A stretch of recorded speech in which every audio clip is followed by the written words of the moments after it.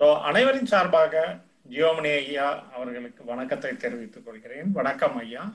அனைவருக்கும் வணக்கம். பாபுலால் ஐயாவிற்கும் அனைவருக்கும் வணக்கத்தை தெரிவித்துக் கொள்கிறேன். வணக்கம். ஸோ இன்னைக்கு ஞானிக்கும் அஞ்ஞானிக்கும் என்ன வித்தியாசம் அப்படின்னு டாபிக்கு ஞானியா இருந்தா தான் இது புரியுமாங்கிற சந்தேகம் வருது. அதாவது ஞானிக்கும் அஞ்ஞானிக்கும் வித்தியாசம். வேறுபாடு என்னன்னு தெரியும்னா அப்போ நம்ம அஞ்ஞானி நம்மளை பத்தி சொன்னான்னா புரிஞ்சிடும். எப் ஞானியை பத்தி சொன்னா எப்படி நமக்கு தெரியும்? அப்படிங்கிற ஒரு டவுட் வருது. ஸோ அதனால என்ன பண்ணிருக்கேன்னா எல்லாரையும் பவனுக்கு கூட்டி போயிட்டேன் இப்போ. இப்போ நீங்க எல்லாம் உட்கார்ந்துருக்கிறது வந்து இட் இஸ் பவன் நம்ம பகவத் பவனுடைய வீடு அந்த வீட்டுக்கு எதிர்த்தாப்புல இருக்கிற மலை போட்டோ தான் நீங்க பாக்குறீங்க. ஓகே ஸோ ஐயா ஜீவமணி ஐயாவனை வந்து அந்த வேறுபாடை பத்தி விளக்கி சொல்லுமாறு கேட்டுக்கொள்கிறேன். வாங்க ஐயா. ஐயா உங்க பேக்ரவுண்ட் ரொம்ப அட்டகாசமா அழகா இருக்கு. பவன்ல உட்கார்ந்து இருக்கிற மாதிரி ஒரு ஃபீலிங் இருக்கு. ரொம்ப நல்லா இருக்கு. லாக்டவுனுக்கு அப்புறம் எல்லாரும் பவனுக்கு வரணும்னு வி- விரும்பி வேண்டி கேட்டுக்கிறேன்.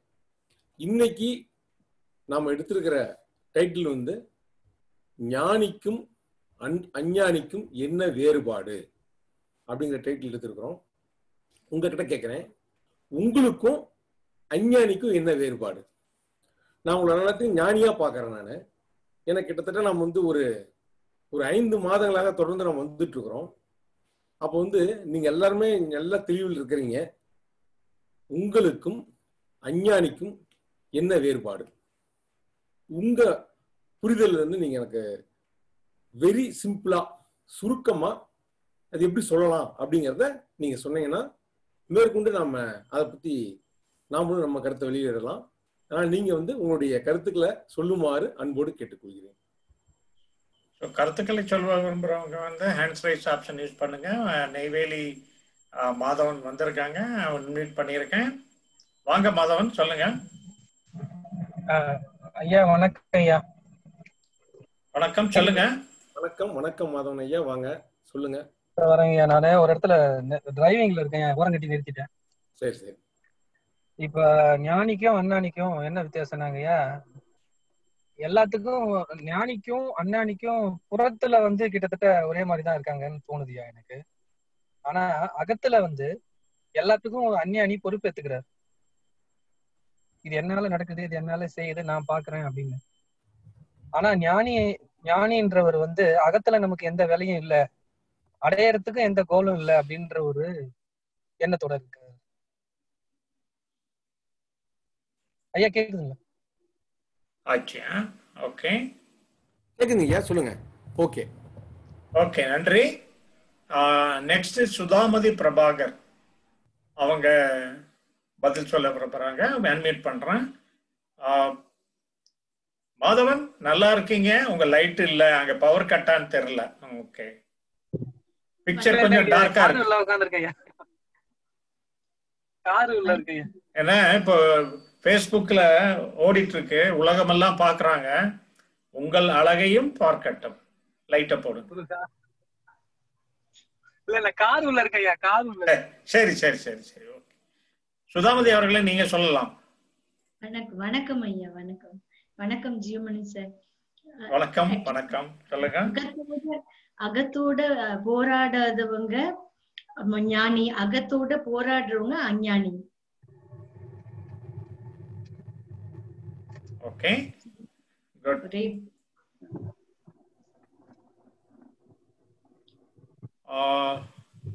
ஒன் மினிட் ஒன் மினிட் யாரது?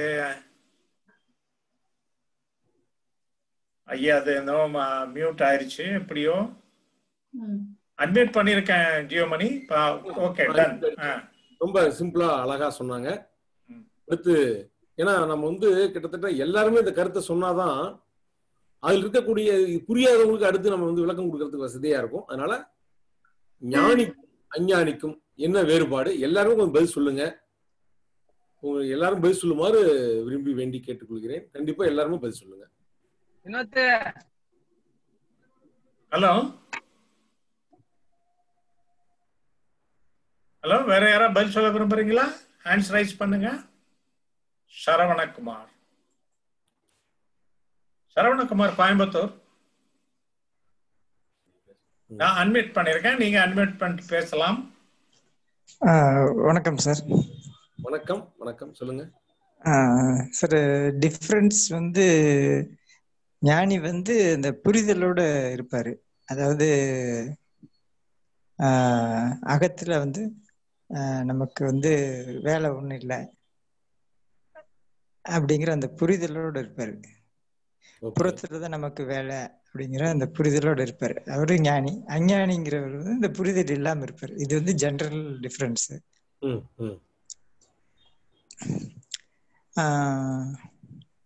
அதோட மட்டும் இல்லாம ஐயானி என்ன பண்ணுவாருன்னா அத புரிதல் இல்லாததுனால அவர் வந்து அந்த உணர்ச்சியை வந்து அந்த உணர்ச்சியை உணர்ச்சி வசப்பட்டு சில ரியாக்ஷன்லாம் இருக்கும். அந்த எல்லா உணர்ச்சியுமே வந்து அவர் ஹேண்டில் பண்ண பார்ப்பாரு அதை கண்ட்ரோல் பண்ண பார்ப்பாரு இல்லைன்னா சப்ரஸ் பண்றது இந்த மாதிரி ஏதாவது ஒரு அட்டம்ப்ட் எல்லாம் இருக்கும். ஞானிக்கு. ஞானி வந்து என்ன பண்ணுவாருன்னா தேவைப்படுற உணர்ச்சியை யூஸ் பண்ணிக்குவார் புறத்துக்கு. தேவைப்படாத அப்படியே விட்டுருவாரு அவர். இந்த டிஃபரன்ஸ் இருக்கும் சார் ஓகே ஓகேங்க சார் ஓகே ஓகே நன்றி. முகமது நன்றி சார்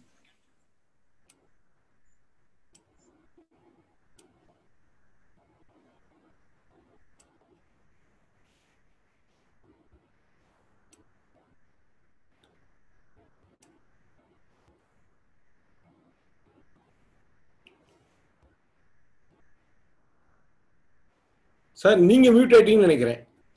நீங்க பேசுறது கேட்கல ஆ. முகமது நீங்க அன்மியூட் பண்ணிக்கோங்க. ப்ளீஸ் ஐயா வணக்கம் ஐயா. வணக்கம். வணக்கம் ஐயா. ஞானிக்கும் அந்நியா ஞானிக்கும் அஹ், உணர்ச்சிகள் எண்ணங்கள் எல்லாம் ஒரே மாதிரி தான் இருக்கும். இதுல வித்தியாசமும் கிடையாது. ரெண்டு பேருக்கும் ஒரே மாதிரி தான் ஏற்படும். ஆனா ஞானி என்ன பண்ணுவாங்கன்னா அந்த எண்ணங்களும் உணர்ச்சிகளும் தேவைன்னா புறத்துக்கு செயல்படுத்துவாங்க. தேவைப்பட்ட எண்ணங்களை. அப்படி அது தேவையில்லைன்னா சும்மா இருப்பாங்க. அதை வந்து அதோட வந்து அந்த எண்ணங்களோட போராட மாட்டாங்க. ஞானி. அஞ்ஞானி என்ன பண்ணுவாங்கன்னா இந்த எண்ணங்களும் உணர்வுகளும் எனக்கு ஏன் வந்துச்சு? இது நான் வரக்கூடாதுன்னு நான் முடிவு பண்ணி வச்சிருக்கேனே. எனக்கு ஏன் இது வந்து இந்த எண்ணங்கள் வரலாமா? வரக்கூடாது அப்படின்னு அந்த எண்ணங்களோடையும் உணர்ச்சிகளையோடும் அந்நியானி போராடிட்டு இருப்பாங்க. அப்புறம் ஞானியோட ஆட்டிடியூடு மனநிலை எப்படி இருக்கும்னா வாட்ஸ் நெக்ஸ்ட் அடுத்து என்ன அப்படின்ற மாதிரி தான் அவங்களோட மனநிலை இருக்கும். ஒரு இது தேவைன்னா அதை வந்து செய் செய்வாங்க. இல்லைன்னா சும்மா இருப்பாங்க. ஆனா அஞ்ஞானி வந்து கடந்த காலத்திலே இருப்பாங்க. கடந்த காலத்திலே அந்த எண்ணங்களையும் உணர்வுகளையும் போராடிட்டு இருப்பாங்க. அவ்வளவுதான் ஓகே ஓகே. நன்றி முகமது. உங்களை மியூட் பண்றேன். வேற?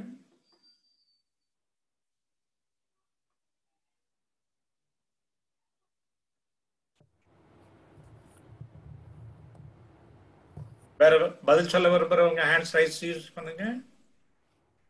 வேற ஞானிகள் யாரும் இல்லையா? உங்களுக்கும் அஞ்ஞானிக்கும் என்ன வேறுபாடு? சொல்லக்கூடிய ஞானிகள் இருக்காங்களா?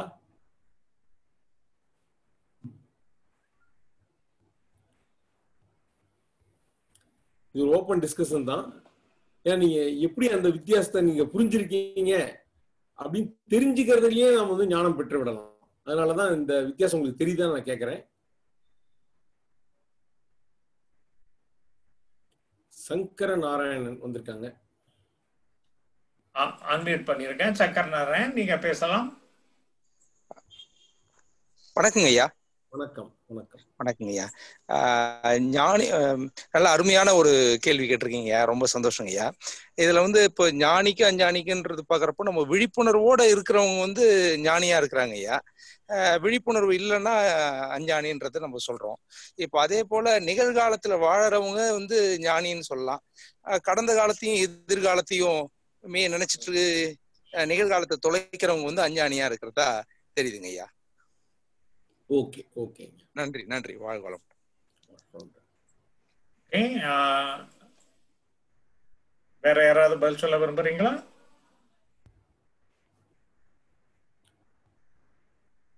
இந்திரா ஃப்ரம் சென்னை. அன்மியூட் பண்ணியிருக்கேன் வாங்க நீங்க பேசலாம். வணக்கம் ஐயா. வணக்கம்.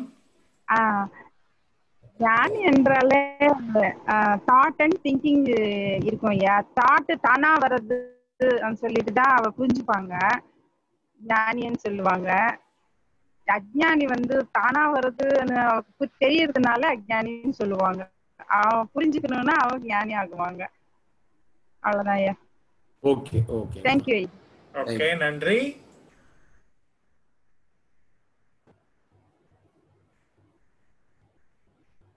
இன்னும் யாராவது பதில் சொல்ல விரும்புறீங்களா?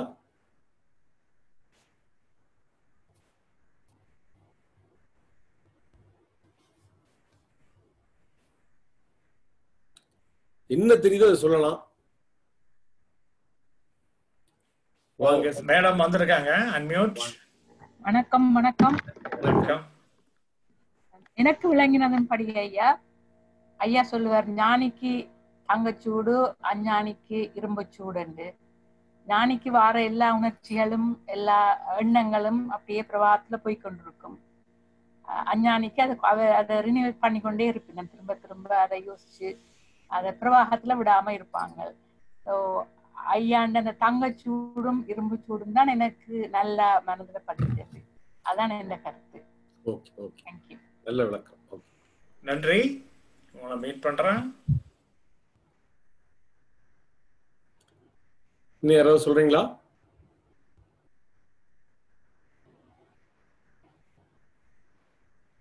சிவராஜ் ட்ரிச்சி அன்மியூட் பண்ணியிருக்கேன்.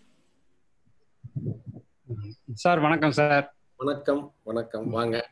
சார் ஞானி வந்து தன்னுடைய புத்தியை பயன்படுத்தி வெளியில புறச்செயல் மட்டும்தான் அவர் செய்வாரு. அஞ்ஞானி வந்து புத்தியை வச்சுக்கிட்டு அவர் உள்ள இருக்கிற மனசையும் வந்து அதை சரிப்படுத்துறதுக்கு முயற்சி பண்ணுவார் சார். அவ்வளோதான் sir. Okay thank you Sivaraj. Mute பண்ணியிருக்கேன் பார்த்திபன் உங்களை அன்மியூட் பண்ணியிருக்கேன் வேலூர்.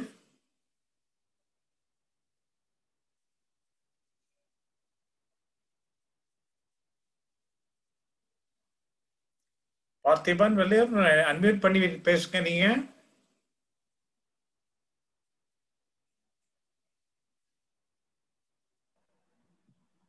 வணக்கம் சார் வணக்கம். சார் நல்லா இருக்கீங்களா சார் நல்லா இருக்கோம் நல்லா இருக்கோம். வாங்க பேசுங்க. ஞானிக்கு புரிதல் ஞானிக்கு புரிதல் வந்து இருக்கு. அஞ்ஞானிக்கு அந்த புரிதல் வந்து இல்லை. இந்த புரிதல்ன்றது அகத்துல நமக்கு வந்து எந்த விதமான வேலையும் இல்லை. எண்ணங்கள் பிரபாகமா போகுது அப்படின்றத வந்து ஞானிக்கு வந்து எப்ப தெளிவா புரிஞ்சுக்கிறாரோ அது எதையுமே அவர் வந்து கண்ட்ரோல் பண்றது எந்த விதமான குழப்பத்துக்கு உள்ளாகாம இருக்கிறாரு. அஞ்ஞானி இந்த புரிதல் இல்லாததுனால எல்லா விதமான குழப்பத்துக்கும் கவலைக்கும் உள்ளாகிறார். இதுதான் ஞானிக்கும் அஞ்ஞானிக்கும் உள்ள வித்தியாசம். ஓகே நன்றி. உங்களை மியூட் பண்றேன். ரேவதி ஹரிஹரன் உங்களை அன்மியூட் பண்ணியிருக்கேன். நான் வணக்கம். அனைவருக்கும் வணக்கம். வணக்கம். ஆஹ் மனப்போராட்டம் இல்லாமல் தன்னுடைய நடைமுறை வாழ்க்கையை எளிதாக எதிர்கொள்பவர் ஞானி. ஆஹ் மனப்போராட்டம் மனச்சோர்வு இதனால பாதிக்கப்பட்டு நடைமுறை வாழ்க்கை பாதிக்கப்படுறவர் அஞ்ஞானி. ஓகே நன்றி. நன்றி நன்றி. வேற யாராவது பதில் சொல்ல விரும்புறீங்களா? ஞானிக்கும் அஞ்ஞானிக்கும் வேறுபாடு.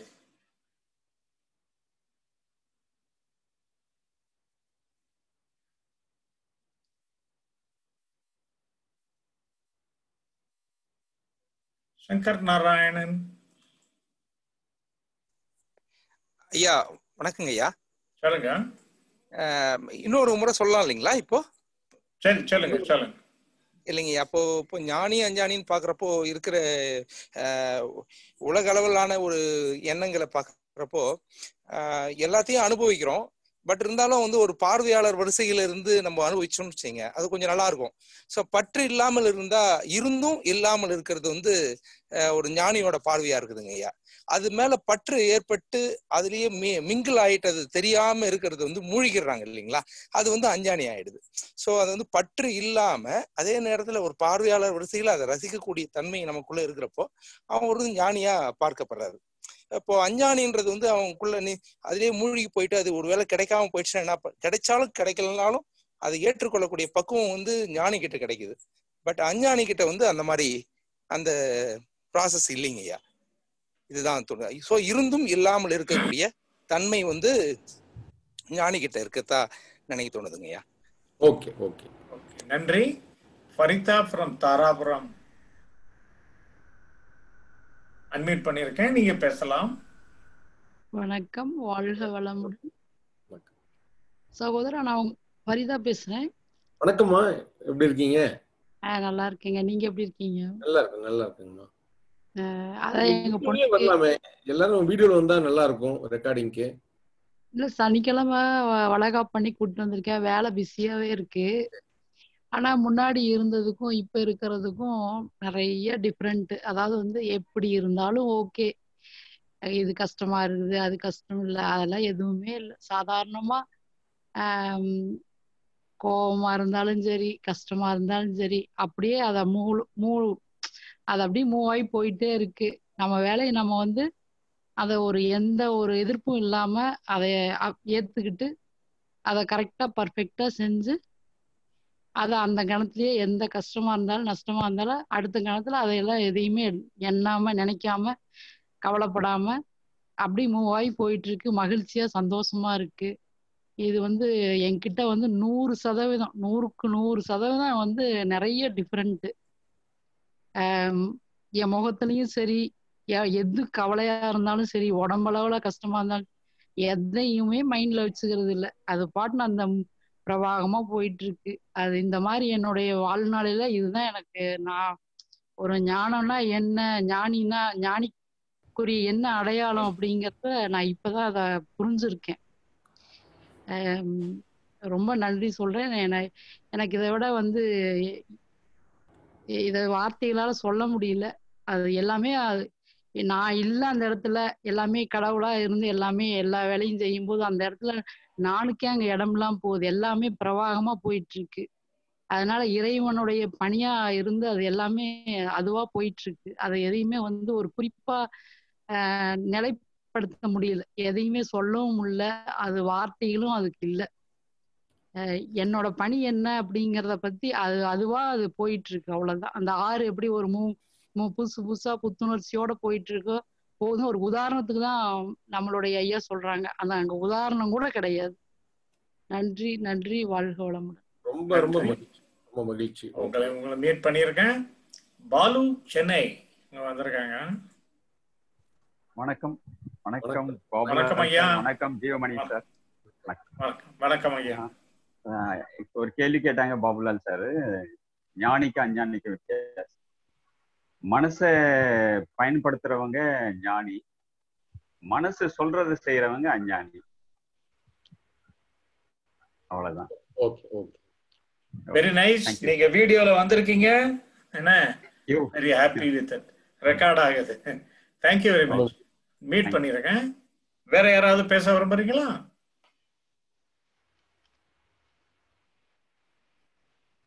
ஓகே யாரும் இல்லைன்னா நம்ம கன்டினியூ பண்ணலாம். ஓகே ப்ரொசீட் பண்ணலாம். ஓகே. அனைவருக்கும் வணக்கம். இன்னைக்கு நம்ம எடுத்திருக்கிற தலைப்பு வந்து ஞானிக்கும் அஞ்ஞானிக்கும் என்ன வேறுபாடு? இந்த கேள்விய ஒரு சாதாரண மனிதர்கள்ட்ட இல்ல ஆன்மீகத்தினுடைய ஆரம்ப சாதகர்கள்ட்ட கேட்டோம்னா என்ன சொல்லுவாங்க அப்படின்னா முக்காலமும் உணர்ந்தவர் ஞானி. அவருக்கு தெரியாதது எதுவுமே இல்லை. அவர் வந்து மனதளவுல ரொம்ப அமைதியா ஆனந்தமா இருக்கிறவர் தான் ஞானி. சாதாரண மனிதர்கள் போராட்டங்களோடையும் துன்பங்களோடையும் இருந்துட்டு இருக்காங்க. அப்படிங்கிற மாதிரி சாதாரண மனிதர்கள் சொல்லுவாங்க. இந்த புரிதலுக்கு வந்த பிறகு அந்த உண்மையான கோணத்தை உணர்ந்தவர்கள் என்ன சொல்றாங்க அப்படின்னா இப்ப நம்ம வந்து ரொம்ப எளிமையா சொல்லணும் அப்படின்னா தன்னோடு முரண்படுபவன் அஞ்ஞானி. தன்னோடு முரண்படாதவன் ஞானி. தன்னோடு முரண்படாதவன் ஞானி அப்படின்னா என்னன்னு பாத்தீங்கன்னா நம்முடைய மனம் எந்த நிலையில் இருந்தாலும் சரி எந்த உணர்ச்சி ஏற்பட்டாலும் சரி எந்த எண்ணம் வந்தாலும் சரி எதிர்மறை எண்ணங்கள் வந்தாலும் சரி நமது இயல்புகள் நாம மிகவும் மோசமாக இருப்பதாக இருந்தா கூட சரி. எது எப்படி இருந்தாலும் அதை எப்படி இருக்குதோ அப்படியே அதனை ஏற்றுக்கொள்பவர் தான் முரண்படாமல் ஏற்றுக்கொள்வர் தான் ஞானி அப்படின்னு நம்ம சொல்றோம். இது முரண்படாம இருக்கிறது தான் ஞானத்தன்மை. வாசுகி சகோதரி சொன்னாங்க ஞானியின் கோபம் தங்கச்சூடு அஞ்ஞானியின் கோபம் இரும்புச்சூடு. தங்கச்சூடு இரும்புச்சூடு. இது ஆன்மீகத்துல சொல்லக்கூடிய ஒரு வார்த்தை. ஞானிக்கு கோவம் வந்தா அது தங்கச்சூடு மாதிரி. அஞ்ஞானி கோவம் வந்தா அது இரும்பு சூடு மாதிரி. அப்படின்னா என்னன்னு கேட்டீங்கன்னா ஞானிக்கு ஏற்படக்கூடிய உணர்வுகள் எல்லாமே வந்து தோன்றி மறைஞ்சிடும் ஆனா அஞ்ஞானிக்கு வரக்கூடிய உணர்வுலாம் நீடிக்கும். அதாவது என்னன்னு கேட்டீங்கன்னா தங்கத்தை எடுத்துக்கிட்டீங்கன்னா தங்கத்தை வந்து நகையாக மாற்றும் போது அதனை நல்ல காய்ச்சி சூடா இருக்கு. நல்ல காய்ச்சல் ஒட்டி நம்ம தண்ணியில போட்டு உடனே எடுத்துருவாங்க. ஏன்னா அது வந்து த- தன்னுடைய தன்னுடைய வெப்பத்தை உடனடியாக கடத்திடும். இறுக்கி வச்சுக்காது.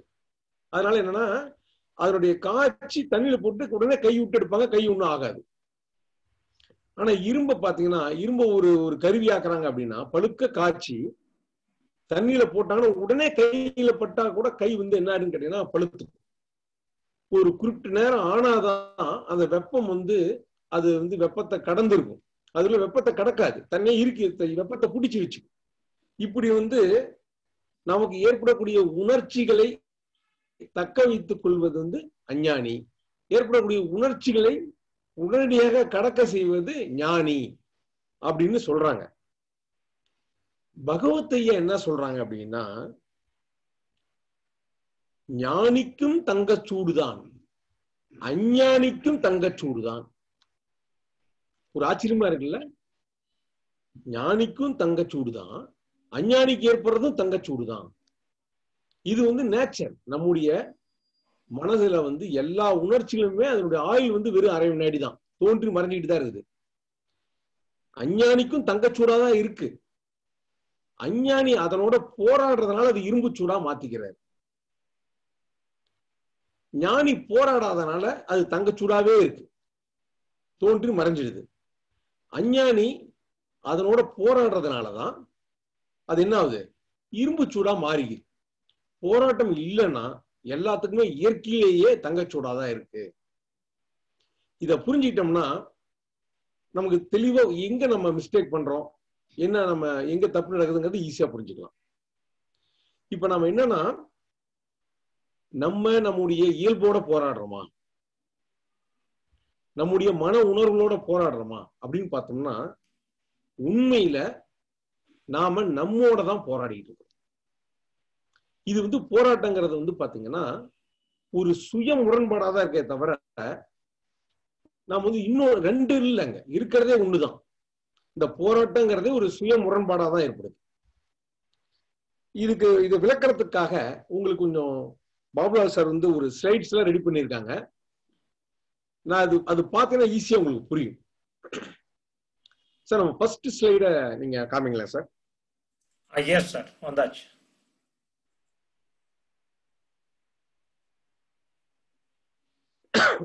இதுல பாருங்க. இருப்பது ஒரு நபர் தான். எப்ப அவர் வந்து போராடுறாரோ அப்போ வந்து அது வந்து அகத்தளவுல ரெண்டு நபரா மாறிடுறாரு. நமக்குள்ளார இருக்கக்கூடிய போராட்டம் தான் மிகப்பெரிய பிரச்சனை. மனதோடு முரண்படுவது அனைத்துமே சுய முரண்பாடு தான் இந்த சுய முரண்பாடோ இருக்கிறது தான் அஞ்ஞானம். நம்ம அங்க விருப்பு வெறுப்பை நம்ம காட்டுறதுனாலதான் அகத்துல நம்ம விருப்பு வெறுப்பை காட்டுறதுனாலதான் இந்த சுய முரண்பாடு ஏற்படுது. இந்த படத்தை பார்த்தீங்கன்னா உங்களுக்கு புரியும். ஒரு படம் எஸ்ங்குது ஒரு படம் நோங்குது. நமக்குள்ளேயே நம்ம முரண்படுறது தான் இந்த பிரச்சனைக்கான காரணம். சார் அடுத்த படத்தை போடுங்களேன்.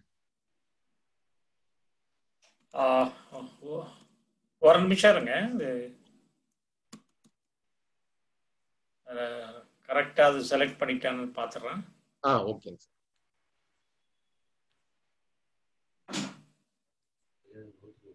சார் எனக்கு இங்க இருக்கு.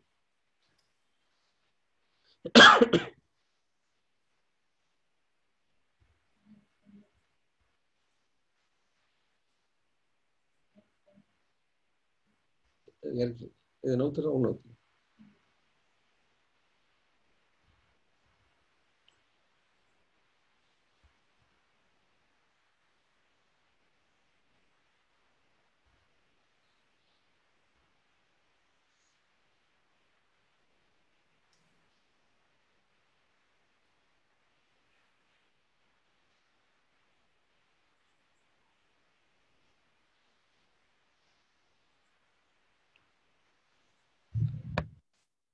ஓ இது ஃபர்ஸ்ட் இப்போ செகண்ட் போலாமா?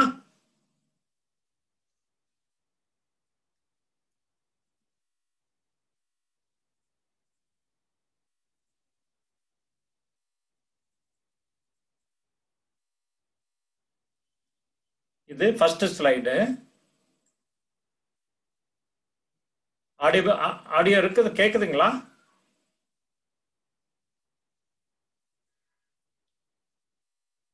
கேக்குது கேக்குது. கேக்குது இல்லையா? சரி நான் ஆன் பண்றேன்.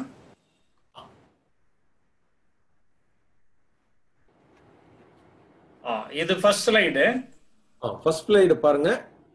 இது நம்முடைய நம்ம மனசோட நம்ம போராடுறது வந்து எல்லாமே அது வந்து சுய முரண்பாடு தான். இதுதான் அஞ்ஞானம் நம்ம சொல்றோம். நமக்கு நாமே முரண்பட்டுக்கிறது தான் இருக்கிறதுலே மிகப்பெரிய பிரச்சனை. இதுதான் அஞ்ஞானம். அடுத்த ஸ்லைடு போலாங்கய்யா ஆ, இதுல பாருங்க. நம்ம அந்த கண்ணாடியை பார்த்து ஒரு நபர் சண்டை போடுறாங்க. அதாவது நம்ம மனசோட போடக்கூடிய சண்டைங்கிறது வந்து அதுதான் வந்து நம்ம சுய முரண்பாடுன்னு சொன்னோம். நம்முடைய முரண்பாடு புறத்துல கூட இருக்கலாம். தப்பே கிடையாது. மற்றொரு நபரோட இருக்கலாம். ஏன்னா நம்ம வந்து நாம ஒரு கருத்து வச்சிருப்போம் அவங்க ஒரு கருத்து வச்சிருப்பாங்க. தாராளமா நீங்க வெளியே சண்டை போடலாம் மற்றவங்க கிட்ட முரண்பாடு வச்சுக்கலாம். புறத்துல நீங்க வந்து முரண்பாடு வச்சுக்கிறது கூட தப்பு கிடையாது.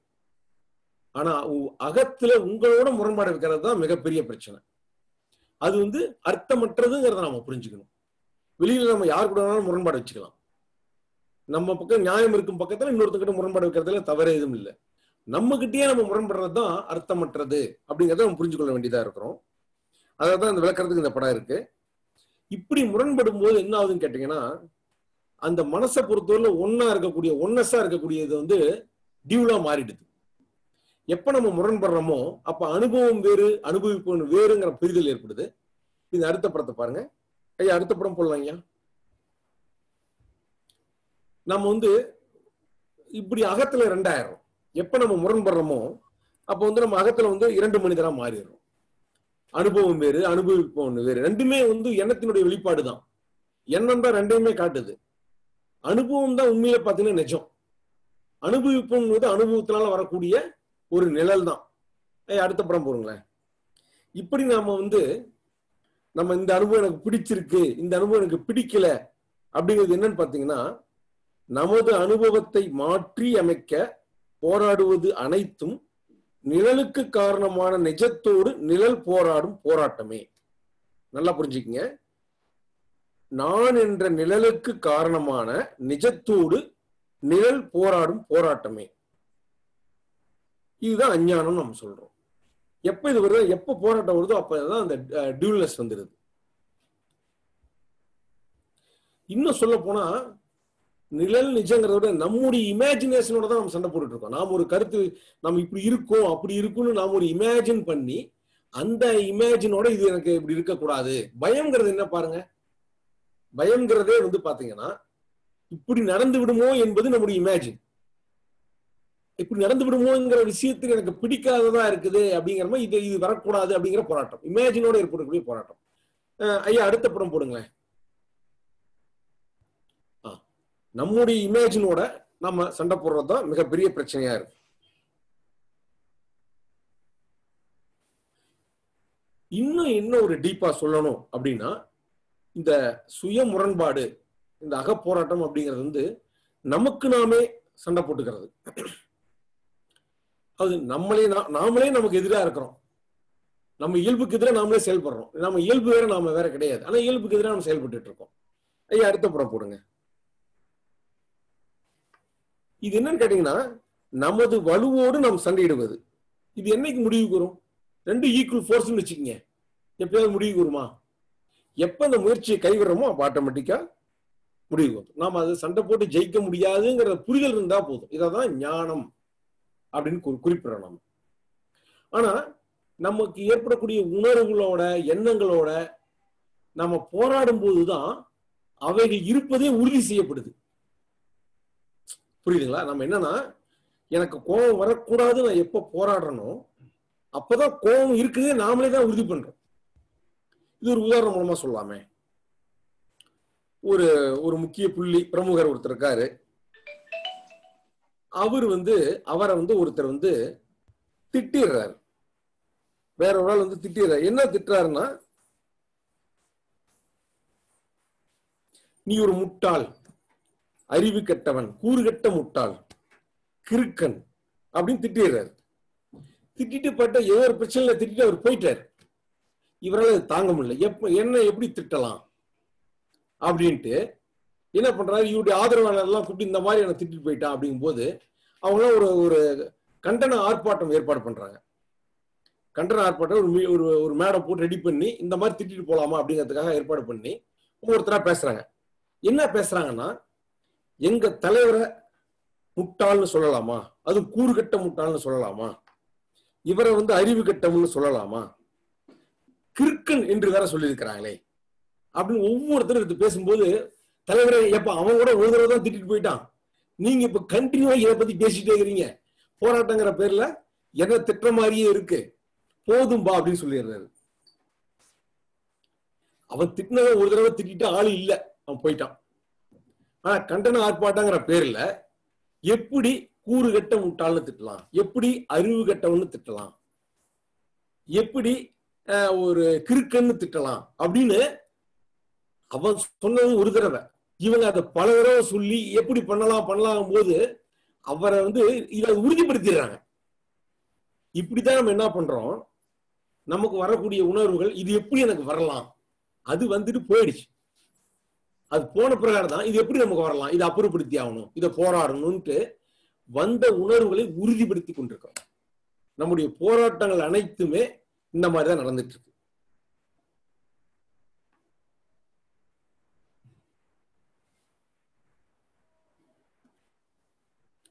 இது ஆக்சுவலா என்னன்னு கேட்டீங்கன்னா நம்ம நம்ம தான் விடணும். நம்ம இருந்தா நம்ம வந்து நம்மள தான் நம்ம சிறைப்பட்டு இருக்கிறோம் என் மனசை சரி பண்றேன் என் உணர்வுகளை சரி பண்றேன் என் இயல்பை சரி பண்றேன்ட்டு நாம் அதோட லாக் ஆகி அதை பிடிச்சி வச்சுட்டு இருக்கிறோம் யார் விடணும்? நாம தான் விடணும். அது அடுத்த சைடு போடுங்க ஐயா. நம்ம கையை நாமளே பிடிச்சி வச்சுட்டு இருக்கிறோம் இது வேற வேற ஒருத்தங்க விட வேண்டியதில்லை. நான் தான் என் கையை பிடிச்சிக்கிட்டு விடாம இருக்கிறேன். உண்மையில சொல்லணும்னா நாம சிறைப்பட்டிருப்பது நம்ம இடத்துல தான். நம்ம வீட்டுல இருந்து சிறைப்பட்டது நாம தான் விடுபட்டாகும் இதைத்தான் இந்த பாருங்க. நாமளே கையை பிடிச்சிட்டு கையில இருந்து விடுபடணும்னு நினைச்சிட்டு இருக்கிறோம். இது வந்து இதுதான் சுய முரண்பாடு அப்படின்னு சொல்றோம். இதத்தான் இதுக்கான தீர்வு என்ன? இந்த தீர்வு நம்ம கிட்டேயே இருக்கு. மிக மிக எளிமையா நமக்கு புரிய வச்சிருக்கார் பகவத் ஐயா அவங்க. இது நம்ம கிட்டயே இருக்கக்கூடிய தீர்வு தான் இது வந்து வெளியிருந்து நம்ம வந்து எங்கேயோ எதையோ செஞ்சு அடையறது நம்ம பிடிச்சிருக்கிறத விடணும். இதுக்கான தீர்வு இதுக்கான சாவி நம்ம கிட்ட தான் இருக்கு. ஐயா, அடுத்த படம் போடுங்க. மனம் என்ற பூட்டை திறக்கக்கூடிய சாவி நம்ம கிட்டே தான் இருக்கு. நாம வெளியெல்லாம் தேட தேவையில்லை. அதை நம்ம கண்டுபிடிச்சிட்டா மட்டும் போதும். சுய முரண்பாடு தேவையில்லை என்பதை புரிந்து கொண்டால் போதும். அந்த புரிஞ்சுக்கிறது தான் நம்ம ஞானம். நம்மளோட முரண்பட தேவை. நம்ம எப்படி இருந்தாலும் ஓகே. இல்ல புரிஞ்சுக்கிட்டப்ப கொஞ்சம் அமைதியா இருக்கேன். அதுக்கப்புறம் போராட்டம் வருது. போராட்டம் வந்தாலும் ஓகே. அது அமைதி இல்லாம இருந்தாலும் ஓகே. எது இருந்தாலும் ஓகே. நம்ம அங்க வந்து அது நிர்வாகம் பண்றதுக்கு எந்த வேலையும் இல்லை என்பதை புரிஞ்சுக்கிறது தான் மிக மிக முக்கியமான புரிதல். இன்னும் சொல்லணும்னா பல பேர் சொல்ல எனக்கு மோசமான இயல்புகள் எல்லாம் இருக்கேன் எப்படி நான் சரி பண்றது? தேவையில்லாத உணர்ச்சிகள் வருதே. தேவையில்லாத எண்ணங்கள் வருதே. எல்லாம் இருந்தாதான் ஒரு ஆரோக்கியம். ஒரு ஒரு நாக்கை எடுத்துட்டோம்னா அது எல்லா டேஸ்டையுமே காட்டணும். இனிப்பை மட்டும் தான் காட்டுச்சு. கசப்பை காட்டலன்னா நாக்கு டேமேஜ் ஆயிடுச்சுன்னு அர்த்தம். இன்னொன்னு ஒரு கீபோர்டு எடுத்துங்க கீபோர்டில் எல்லா சப்தங்களும் வரணும். அது மாதிரிதான் கீபோர்டு அமைச்சிருக்காங்க. எந்த சூழ்நிலையில நம்ம எந்த பட்டன் அழுத்துறோமோ அதுக்கு ஒரு சவுண்ட் வரும். அது மாதிரி சூழ்நிலைக்கு தகுந்த மாதிரி ரியாக்ஷனை மட்டும் வெளிப்படுது. இல்ல இந்த சத்தம் எனக்கு பிடிக்கல நம்ம அந்த பட்டனை புடிங்கி எறிய ஆரம்பிச்சோம்னா உண்மையில அங்க கீபோர்டே இருக்காது. ஐயா அடுத்த ஸ்லைட் போடுங்களேன். நம்ம மனசு நம்ம மனசுங்கிறதும் ஒரு முழுமையான கீபோர்டு மாதிரி தான் இறைவன் கொடுத்திருக்கக்கூடிய ஒரு அற்புதமான கருவி. இதில் எல்லா உணர்வும் வரும். காமமும் வரும். கனிவும் வரும் அன்பு வரும் வெறுப்பு வரும் கவலை வரும் எல்லாமே வரும். தேவைன்னா அதை பயன்படுத்திக்கலாம். தேவைன்னா என்ன? அதோட பந்தம் இல்லாம இருக்கிறது தான். நம்ம ஒன்றும் பண்ண விட்டா போதும். நமக்கு இது சம்பந்தம் இல்லைன்னு நினைச்சு விட்டா போதும்.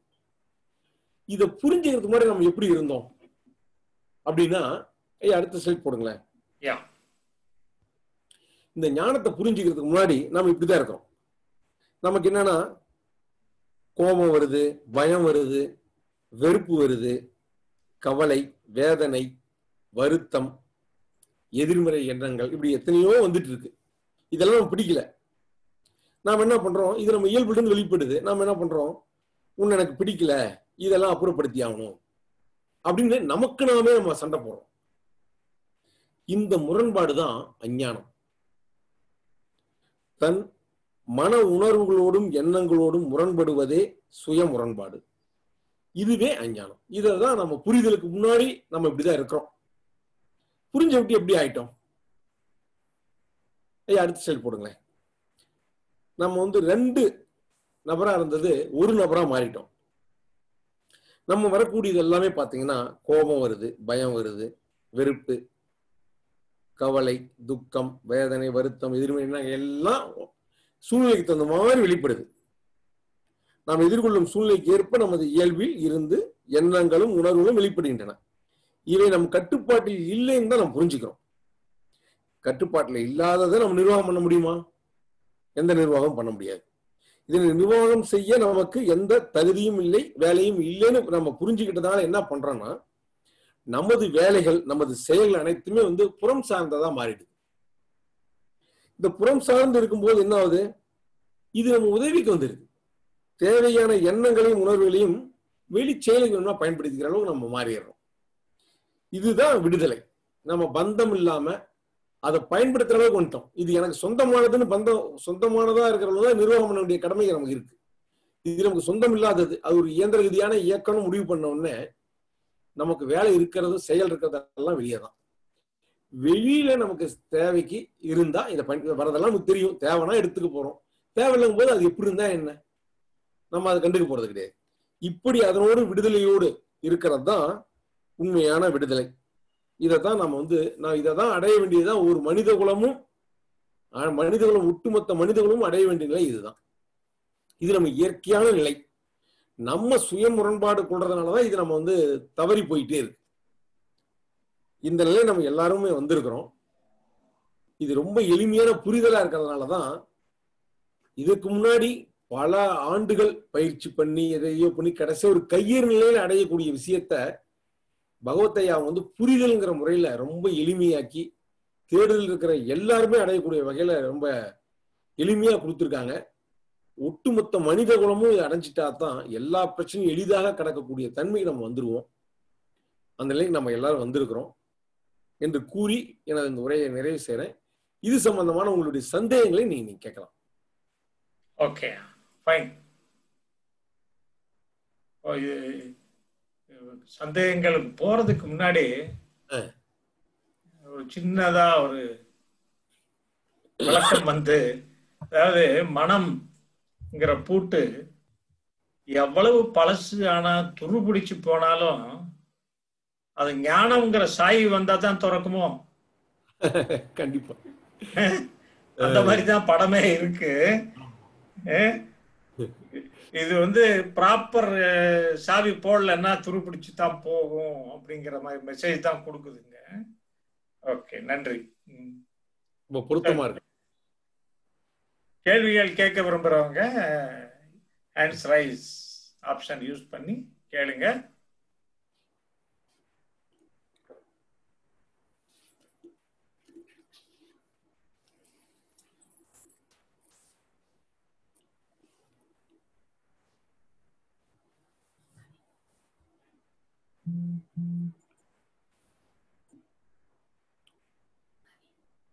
கேள்வி கேட்க விரும்புறவங்க நீங்க ஹேண்ட்ஸ் ரைஸ் ஆப்ஷன் யூஸ் பண்ணுங்க. ஏன்னா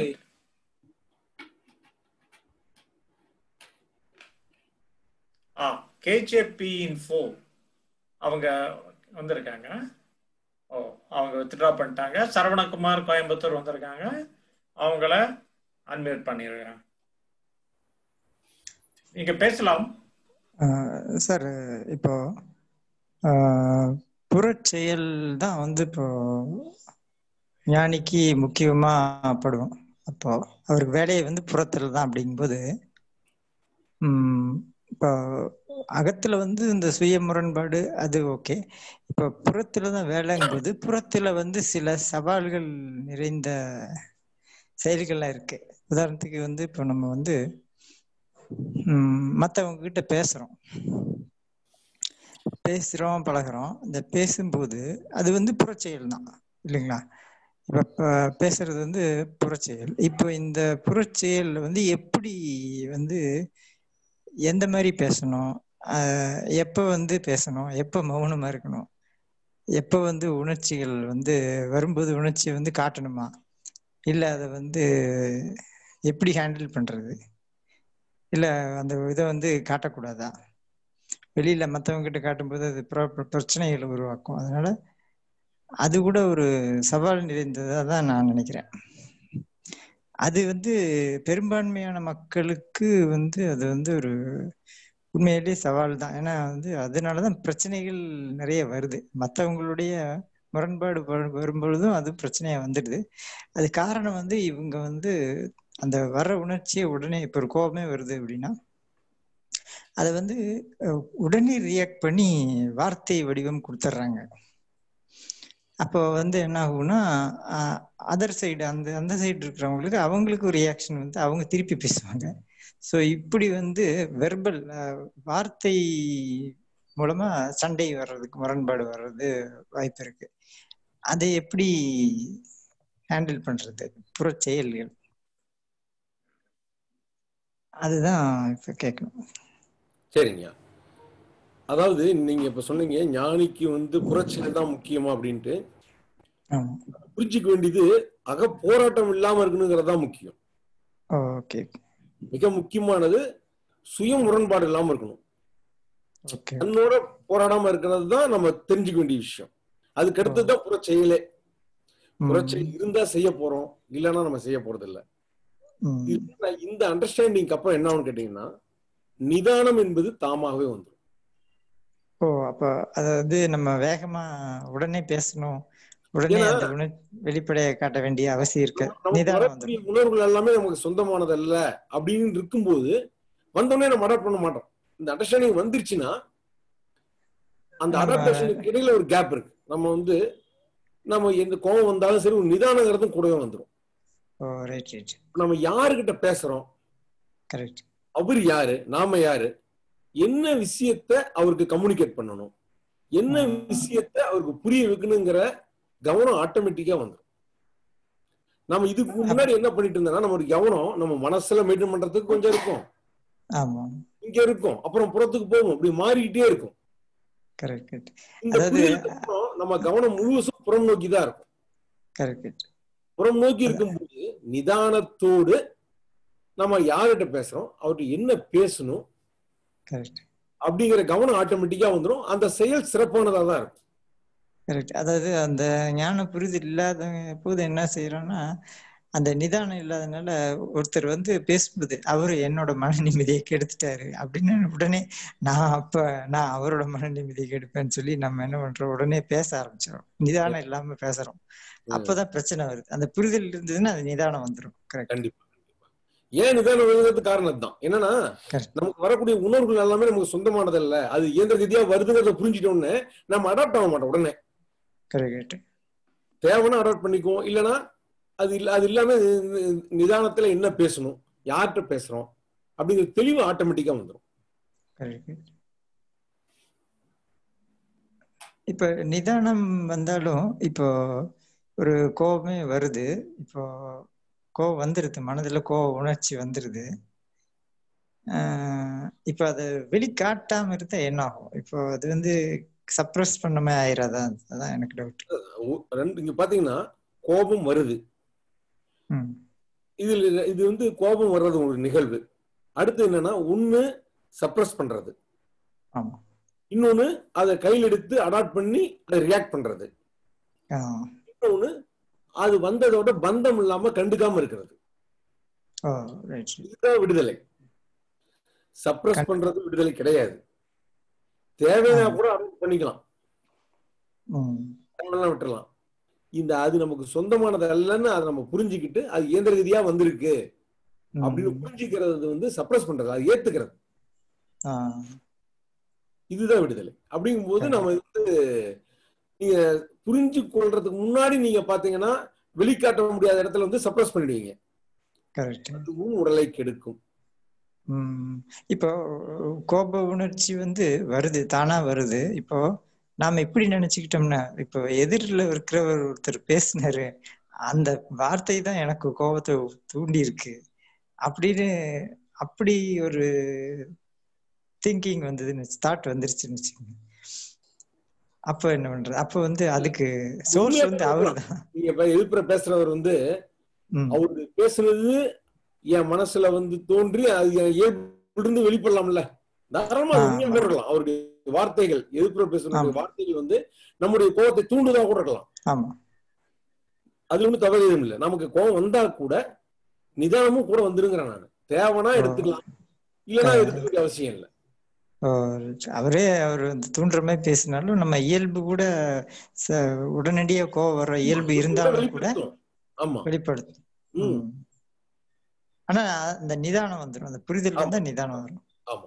இன்னொரு விஷயம் என்னன்னா நாம இயல்போட சண்டை போடல. இய- இயல்பு வரட்டும் அடிமனம் ஆழ்மனம் எதுவா இருந்தாலும் நம்ம இருக்கிறது தான் உணர்மனம் தான் நாம. கான்சியஸ் மைண்ட்ல தான் நம்ம இருக்கிறோம். மேல் வெளிப்படும் போது மட்டும்தான் நமக்கு தெரியும். ஆமா. போராடினா கூட நம்ம இயல்போட சண்டை போடல. நம்ம நம்ம கான்சியஸ் மைண்டோட தான் சண்டை போடுறோம். இததான் சுய முரண்பாடுன்னு சொல்றோம். கரெக்ட் அதனால வந்து அது எப்படி வந்தாலும் சரி. இந்த அண்டர்ஸ்டாண்டிங் அப்புறம் நிதானம்ங்கிறது தானா வந்துடும் அது தேவைன்னா அடர் பண்ணி வெளியே பேசலாம். தேவையில்லைன்னா அது நம்ம எடுத்துக்க தேவையில்ல. அப்ப நிறையவே மௌனம் மௌனம் வந்துரும் அப்போ.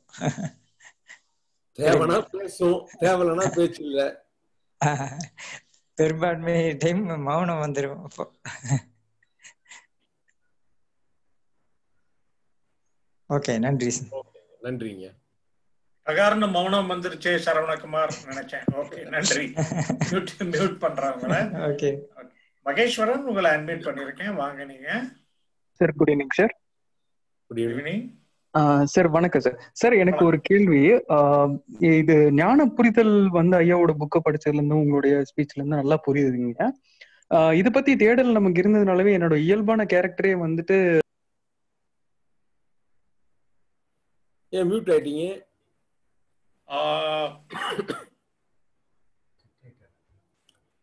முகேஷ் இருக்காரே? என்னாச்சு? மாதவன் தண்டபாணிக்கு கீழே இருக்காரு பாருங்க அவர் அன்மியூட் பண்ணிடலாமா? மகேஸ்வரன்.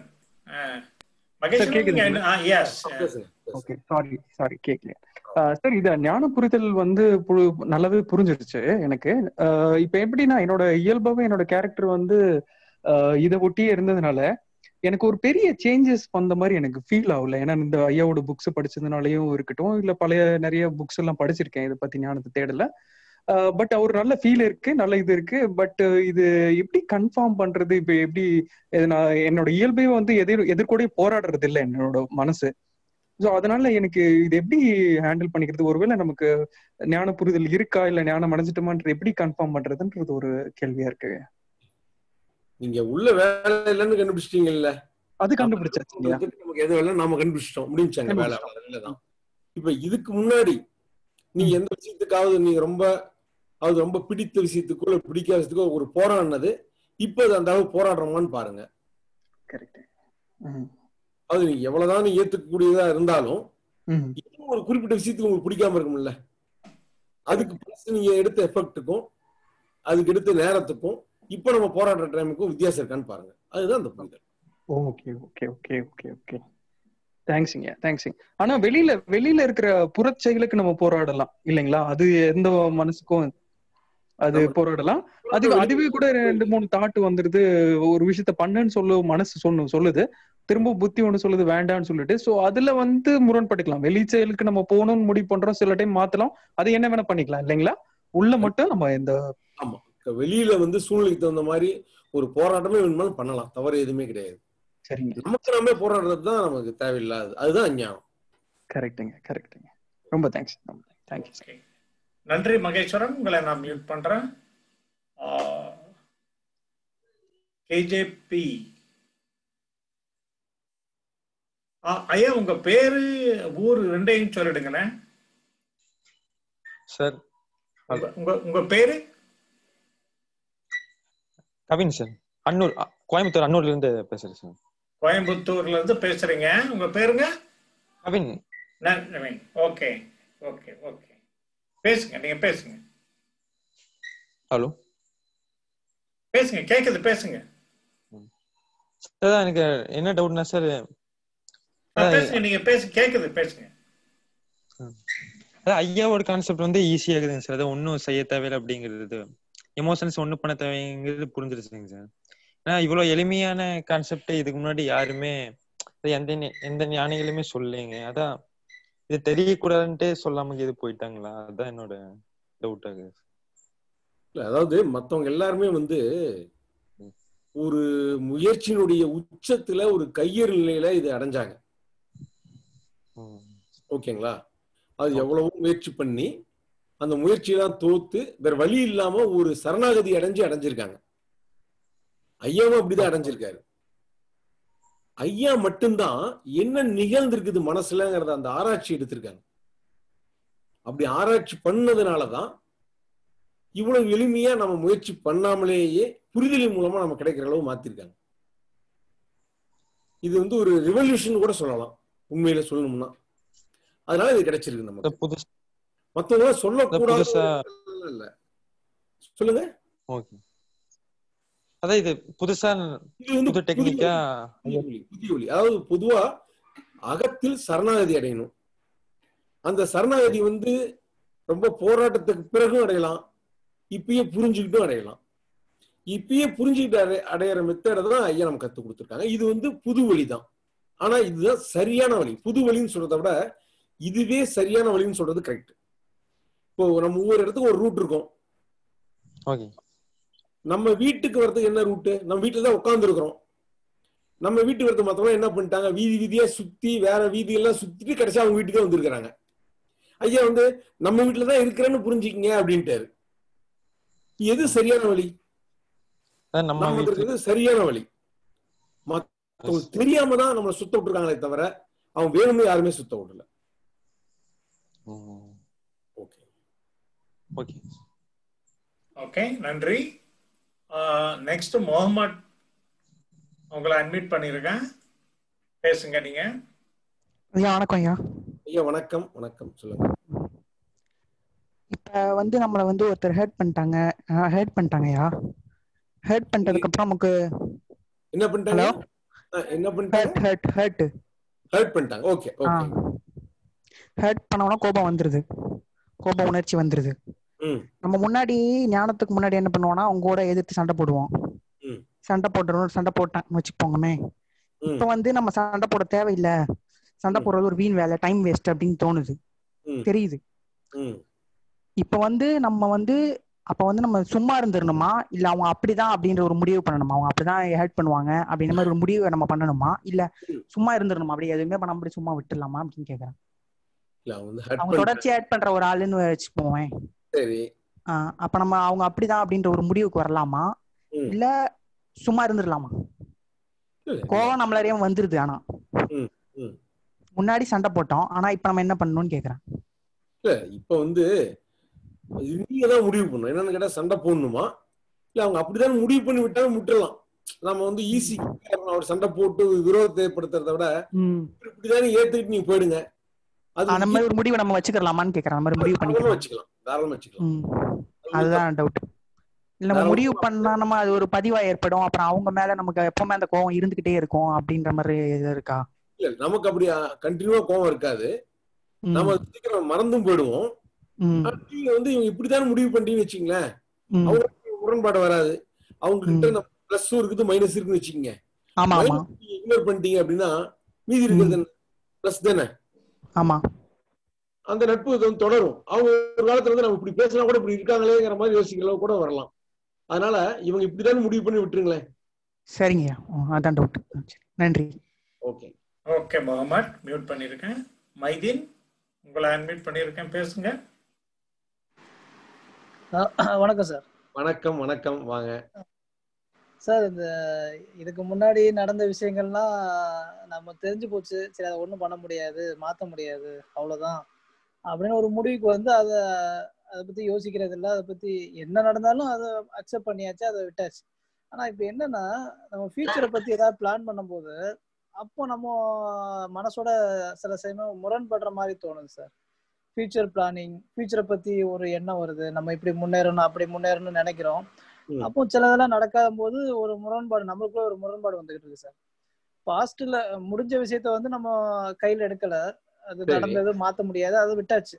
ஆனா சரி. ஃபியூச்சரை வந்து சரி பண்றதுக்கு நம்ம முயற்சி பண்ணா கூட அந்த முயற்சி தோத்துருமா தோக்காதா ஜெயிக்குமா ஜெயிக்காதா அந்த சுய முரண்பாடு வந்து அந்த ஃபியூச்சர்ல அடிக்கடி வர்ற மாதிரி தோணும் சார். இதை எப்படி சார் ஹேண்டில் பண்றது? இல்ல இப்ப நீங்க ஃபியூச்சர்ல இந்த அச்சீவ்மெண்ட் ஆகணும். பிசினஸ்ல இப்படி ஆகணும்னு நினைக்கிறீங்க. Correct sir. சம்பந்தமா உள்ளுக்குள்ள இது நடக்குமா நடக்காதான்னு ஒரு பயமோ ஒரு முறை வருது. Correct sir. அது வெற்றும் குழப்பம் வந்தா கூட நம்ம ஃபியூச்சர்ல என்ன அடையணும்னு நினைக்கிறோமோ அதுக்கான திட்டமிடல் கரெக்டா இருக்கா? அதுக்கான செயல் கரெக்டா இருக்கான்னு பாருங்க. இந்த குழப்பம் கூட அதுக்கு வரதா கூட இருக்கலாம். இதை நம்ம கரெக்டா வச்சிருக்கிறோமா? புறம் சார்ந்த அந்த செயல் அதுக்கு கரெக்டா இருக்கா? அந்த திட்டமிடல் கரெக்டா இருக்கான்னு பாருங்க. அந்த செயல்ல நீங்க ஃபோக்கஸ் பண்ணுங்க. அதுல ஏதாவது குறை இருந்தா சரி பண்ணுங்க. இந்த குழப்பத்திற்கோ இல்ல இந்த அது வந்து நம்ம வந்து வெற்றி அடைவோம் இல்ல வெற்றி அடைய மாட்டோம்னு சொல்றதுக்கோ நம்ம முக்கியத்துவம் கொடுக்க தேவையில்ல. அது சம்பந்தமா நம்ம செயல்ல வந்து நம்ம வந்து பிளான் கரெக்டா பண்ணிட்டோமா? இல்ல எங்கேயாவது ஃபெயில் இருக்கா? அப்படிங்கிறத பாருங்க. அப்படி ஒரு ஃபெயில் இருந்தா சரி பண்றதுக்கான வழியை பாருங்க. செயல தான் நீங்க ஃபுல்லா ஃபோக்கஸ் பண்ணணுங்கிறீங்க அது ரிசல்ட் ரிசல்ட் தேவையில்லைங்கிறீங்க. ஆமா ஆமா ஆமா. ஆனா மனசு வந்து ரிசல்ட்டை நோக்கி தான் சார் அடிக்கடி போய்க்கிட்டே இருக்குது நம்ம செயலை எவ்வளவுதான் ஃபோக்கஸ் பண்ணாலும். அது என்னன்னா ரிசல்ட்டை நோக்கி தான் ஆட்டோமேட்டிக்கா நம்மள அறியாமலேயே அன்கான்சியஸா ரிசல்ட்டை நோக்கி போயிருது இப்படி. நடக்குமா அப்படி நடக்குமா அப்படின்னு ஒரு இதுல போகும்போது. அந்த மனசே தான் சொல்லுது நடக்குதுன்னு சொல்லுது அந்த மனசே தான் சொல்லு நடக்காதுன்னு சொல்லுது இந்த குளறுபடி வந்து நம்மள வந்து- கான்சென்ட் பண்ணாலும் இது கொஞ்சம் அப்படி முரண்பட சம்டைம் வந்துகிட்டு இருக்கு சார். அவ்வளவுதான். வேற நீங்க- அந்த மனசுக்கு வந்து இப்படிதான் சொல்லணும்னு கட்டளை போட முடியுமா நம்ம? போட முடியாது. அது எப்படி வேணாலும் சொல்லு. அது நம்ம செயலியில் அது அதுல சொல்லுது. நம்ம என்னன்னா ரிசல்ட் ரிசல்ட்டும் ஒரு ஐடியா பண்றோம் எய்ம் வைக்கிறோம். நம்ம நீங்களா வில்ஃபுல்லா ரிசல்ட் நினைச்சிட்டு இருக்க தேவையில்ல. அதுக்கு என்ன வந்துட்டீங்கன்னா போதும். அதுதான் சார் ரொம்ப டார்ச்சர் பண்ணு இதுக்கு முன்னாடி வந்து இந்த பாஸ்ட் டார்ச்சர் பண்ணிக்கிட்டு இருந்தது கடந்த காலம் என்ன ரொம்ப டார்ச்சர் பண்ணுச்சு. இப்ப அல் இப்போ ஐயாவுடைய புரிதல் நீங்க சொல்ற எல்லாருடைய புரிதல்லாம் கேட்ட பிறகு அதெல்லாம் நான் அவாய்ட் பண்ணிட்டேன். நான் நடந்தது ஒன்றும் பண்ண முடியாது மாத்த முடியாது அதை பத்தி யோசிக்கிறது. யூஸ்லெஸ் முடிஞ்சு போச்சு இதுமே என்ன பண்றது அது அதை பத்தி என்ன வந்தாலும் நான் அதை அவாய்ட் பண்ணிடுறேன் எவ்வளவு. பெரிய எண்ணம் வந்தாலும் டக்குன்னு என்னோட. புத்திய வச்சு இது தேவையில்ல ஸ்டாப். அவ்வளவுதான். அது ஆட்டோமேட்டிக்கா போயிருது ஒரு செகண்ட். வருது டக்குன்னு போயிருது ஆனா அந்த ஃபியூச்சர்ல வந்து நம்ம எப்படியும் வாழ்ந்துதான் ஆகணும். ஃபியூச்சர்ல வந்து நம்ம சிறப்பா வாழணும்னு ஆசைப்படுறோம். அதோடைய முயற்சி தான் எடுக்கிறோம் அந்த. முயற்சி எடுத்தா கூட. ஒரு ஃபெயிலியர் சக்சஸ் அந்த ஒரு பயம் வந்துகிட்டு இருக்கு சார் அவ்வளவுதான். பயமும் ஒரு அது வந்து நல்லதுக்காக கூட வரலாம் மேபி நல்லதா ம். கூட- அஹ் இன்னும் சிறப்பா திட்டமிடுறேன்னு சொல்லி வருது. ஆனா அதுல கொஞ்சம் நம்ம ஸ்டக் ஆகிற மாதிரி எனக்கு தோணுது சார் அதுல மாட்டிக்கிற மாதிரி தோணுது சார் சரி சரி. அது எப்படின்னு கேட்டீங்கன்னா முடிஞ்சதை முடிஞ்சதா எடுத்துக்கிறீங்க. முடிஞ்சதெல்லாம் முடிஞ்சதா அரிசி எடுத்துக்கிறீங்க. ஃபியூச்சர் பத்தி பார்க்கும்போது மட்டும் ஒரு பயம் வருது. குழப்பம் வருது. கரெக்ட்டுங்களா கரெக்ட் சார் கரெக்ட் சார் இப்ப இப்ப என்னன்னு கேட்டீங்கன்னா நம்ம வந்து அதுவும் அப்படிதான். நீங்க என்ன பயம் வந்தா கவனத்தை கூட்டிக்கங்க. உங்க செயல்லையும் திட்டமிடலையும் கவனத்தை நம்முடைய செயல் வந்து புறம் சார்ந்து இருக்கிறதுல கவனமா பாத்துக்குங்க மத்தபடி அது வந்து ஃபெயில் ஆயிடுன்னு காமிச்சாலும் சரி இல்ல இதில் வெற்றி அடைஞ்சிரும்னு காமிச்சாலும் சரி அது சம்பந்தமா நமக்கு எந்த வேலையுமே கிடையாது. அது எப்படிதான் காமிச்சா அது உங்களை டார்ச்சர் பண்ணுதுங்கிறீங்கல்ல நாம அதை டார்ச்சர் பண்ணாம இருக்கணும். நீங்க அதை டார்ச்சர் பண்ணாம விட்டீங்க அது ஆட்டோமேட்டிக்கா போயிடும். உண்மையில என்னன்னா நாம தான் வந்து இது வரக்கூடாதுன்னு ஏதோ ஒரு வகையில ஒரு நீங்க அதை டார்ச்சர் பண்ணிடுறீங்க. இதுதான் நீங்க அது எப்படினா வந்துட்டு போகட்டும். இப்ப நம்ம இங்க இருந்து சென்னை போகணும்னு வச்சுங்களேன் நான் சேலத்துல இருக்கேன் சென்னை போகணுங்கிறது என்னுடைய எய்ம் என்னுடைய வாண்டட் விஷயம். இப்ப நான் வந்து போற வழியிலையும் இருக்கிற டிராபிக்கை கவனிக்கிறது கரெக்டா இல்ல சென்னை போகணும் சென்னை போகணும் சென்னை போய் சேரணும் மாட்டினா சொல்லி அதை பத்தி பேச அதை பத்தியே நான் நானா வில்ஃபுல்லா நினைக்கிறத விட எனக்கு தாட் வந்தா வந்துட்டு போட்டோம் நான் வந்து இந்த டிராபிக்ல எப்படி நம்ம வந்து போறது? இந்த விட ரூட் எந்த ரூட் பெஸ்ட் இதை விட இந்த ரூட் பெஸ்ட்னா வேற ரூட் மாறி போலாம் இந்த அந்த சூழ்நிலையை எதிர்கொள்றது தான் முக்கியமே தவிர ஏன்னா ரிசல்ட்டை பத்தி நினைச்சிட்டு இருக்க தேவையில்ல. அது நினைப்பு தானா வந்து அது கூட விட்டுருங்க தாட்டுன்னு விட்டுருங்க. நாமளா ரிசல்ட் இப்படி கரெக்டாக நடக்கணும் நடக்கணும் அதை பத்தி யோசிச்சுட்டு இருக்காரு இந்த சூழ்நிலையை கரெக்டாக மூவ் பண்ணீங்கன்னா நம்ம கிட்ட இருக்கிறது வந்து இது ஒரு கதை ஒன்று சொல்லுவாங்க. ஜென் கதை. மலை உச்சி அடைகிறதுக்காக ஒருத்தன் வந்து கிளம்பி போயிட்டு ரொம்ப சிரமப்படுறான் இருட்டு ஆயிடுச்சு அப்போ வந்து தூரத்துல ஒரு வெளிச்சம் தெரியுது. அந்த அந்த வெளிச்சம் யாருன்னு பக்கத்துல போகும்போது அவர் ஞானி வந்து சின்ன விளக்கு வச்சுட்டு போறாரு. அவர்கிட்ட என்ன கேக்குறான்? இவ்வளவு பெரிய மலை வந்து பள்ளத்தாக்கெல்லாம் நிறைஞ்சிருக்குது இவ்வளவு உயரமா இருக்கு. இவ்வளவு பெரிய மலையில வந்து நீங்க எப்படி இந்த சின்ன விளக்கு வச்சுட்டு போறீங்க? அப்படின்னு கேட்கும்போது அந்த ஞானி சொல்றாரு இந்த சின்ன விளக்குல எனக்கிட்ட இருந்து ரெண்டடி தூரத்துக்கு வெளிச்சம் இருக்கு. எனக்கு பின்னாடி ரெண்டடி தூரத்துக்கு வெளிச்சம் தெரியுது. நான் ரெண்டடி தெரியுது இல்ல இந்த ரெண்டடியில நடக்கிறதுக்கு தெரிஞ்சா போதும். நான் ஈஸியா மலை உச்சி அடைஞ்சிருவேன் அப்படிங்கிறாரு. அது மாதிரி இந்த சூழ்நிலையை எப்படி எதிர்கொள்ளணும்னு நீங்க நினைச்சிட்டீங்கன்னா போதும். அது கரெக்டா உங்களை கூட்டு போய் நீங்க அடைய வேண்டிய இடத்த விட்டுரும். நாம வந்து அது நீ என்ன ஒரு வாரம் கழிச்சிருக்கிறது வந்து இருட்டா இருக்கு. நாளைக்குங்கிறது இருட்டா இருக்கு. ஐடியா மட்டும் வச்சுக்கங்க. ஆனா உங்க கவனம் முழு முழுக்க இன்னைக்கு டேட்ல நம்ம என்ன பண்ணணும் அப்படிங்கிறத வச்சுட்டீங்கன்னா ஆட்டோமேட்டிக்கா நம்முடைய பயணம் வந்து சிறப்பானதா இருக்கும். சின்ன விளக்கு தான். ரெண்டடி தூரம் தான் தெரியும். ஆனா இதுல வந்து நம்ம கவனமா போகும்போது மலை உச்சி அடைஞ்சிரும். ஆமா சார் இது இது வந்து இப்போ லேட்டஸ்டா எப்படி சொல்றாங்கன்னா. இப்போ நீங்க சொன்ன மாதிரி மெட்ராஸ் போறோம் ஆனா கார்ல போகும்போது நைட்டு போனோம்னா அந்த லைட் வந்து ஒரு டுவெண்ட்டி மீட்டர் வரை தான் லைட் இருக்கும் கரெக்ட்டுங்களா ம். அதுக்கப்புறம் அந்த இப்ப நீங்க ஜென் கதை சொல்றீங்களே இதே லேட்டஸ்டா அன்னைக்கு ஒரு கதை கேட்டேன் இதே மாதிரிதான் நம்ம. மெட்ராஸ் போறோம்னா மெட்ராஸ் வரைக்கும் நம்ம லைட்டை பெருசா போடணும் அவசியம் கிடையாது நம்ம கார்ல வந்து ஒரு டுவெண்ட்டி மீட்டர் லைட் வெளிச்சம் இருந்தாலே போதும் அது போக போக அந்த லைட் தெரிஞ்சுக்கிட்டே இருக்கும். இப்ப நீங்க அதே மாதிரி தான் புரியுது சார்? இத நம்ம ஆல்ரெடி நம்ம அப்படியே பழகிட்டனால அந்த பழக்கம் கூட நம்மள பயங்காட்டுன்னு நினைக்கிறேன் சார். கரெக்ட்டுங்களா? ஆமா அது நம்ம நம்ம வந்து பழக்கம் இது ஆயிடுமோங்கிற பழக்கம். தன்னால இயல்பு இருந்து வெளிப்படுது. நாம அதுக்கு முக்கியத்துவம் கொடுக்க தேவையில்ல. நம்ம நம்ம அது வெளிப்படுதுதா? நம்ம செயல்ல கரெக்டா இருக்கிறோமா? பிளான் கரெக்டா இருக்கா? ஒரு கணிப்பு இருக்கும்ல. நம்ம அறிவு வச்சு கணிக்கிறோம்ல. அது ஓகேன்னா நம்ம போக வேண்டியதுதான். ஆமா ஓகே சார் ஓகே ஆனா செயல் கம்மியா இருக்கும்போது கொஞ்சம் ஒரு ஹோப்பே இல்லாத மாதிரி தோணுது சார் அது அது ஏன் சார் அப்படி? ஏன் செயல் கம்மியா வச்சிருக்கீங்க? நாம தானே செயல்படணும். இல்ல இல்ல இல்ல. ஆக்சுவலா என்ன சொல்ல வரேன்னா இப்ப ஃப்ரீ டயத்துல இருக்கிறீங்கன்னு வச்சுக்கோங்க. ஓ. டைம்னா இதுக்கு முன்னாடி எப்படின்னா நம்ம பழைய தாட்டு எல்லாமே நம்மள வந்து அன்கான்சியஸாவே வச்சிருக்கோம். ஓகே நம்ம வேலை பார்த்தாலும் வேலை பார்க்கணும் அன்கான்சியஸாவே வச்சிருக்கோம். இப்ப என்னன்னா நம்ம அந்த பழைய தாட்டெல்லாம் ரிமூவ் பண்ணிடுறோம். ம். அப்பங்கும்போது செயல் இருந்தா அதுல ஆக்டிவா நம்ம சூப்பரா பண்றோம். ஆபீஸ் வேலை இருக்கும்போது நல்லா பண்றோம். சில சமயம் ஆபீஸ் வேலை கொஞ்சம் கம்மியா இருக்க டயத்துல நம்ம. பழைய நாட்டை ரெஃபர் பண்ண மாட்டோமா? அப்போ வந்து ஒரு ஒரு வித்தியாசமான ஒரு ஃபீலிங் வருது சார் ஒரு பயமா தனிமையில இருக்கும்போது ஒரு சோர்வு.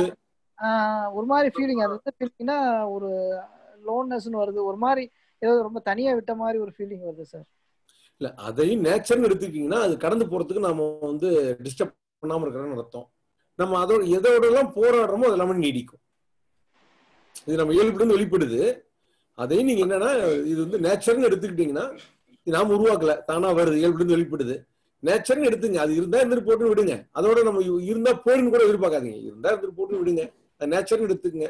ஆட்டோமேட்டிக்கா அது கடந்து போயிடும். நீங்க இது இதுல இருந்து வெளியே வரும்னு நினைக்கிறவங்க தான் அது நீடிக்கிறோம். அதுதான் நான் சொன்னேன் பாத்தீங்களா? அப்படி நீடிக்க அப்படி நம்ம நீங்க போராடும் போதுதான் அதுக்கு வலு கொடுக்குறீங்க. அதை உறுதிப்படுத்துறீங்க.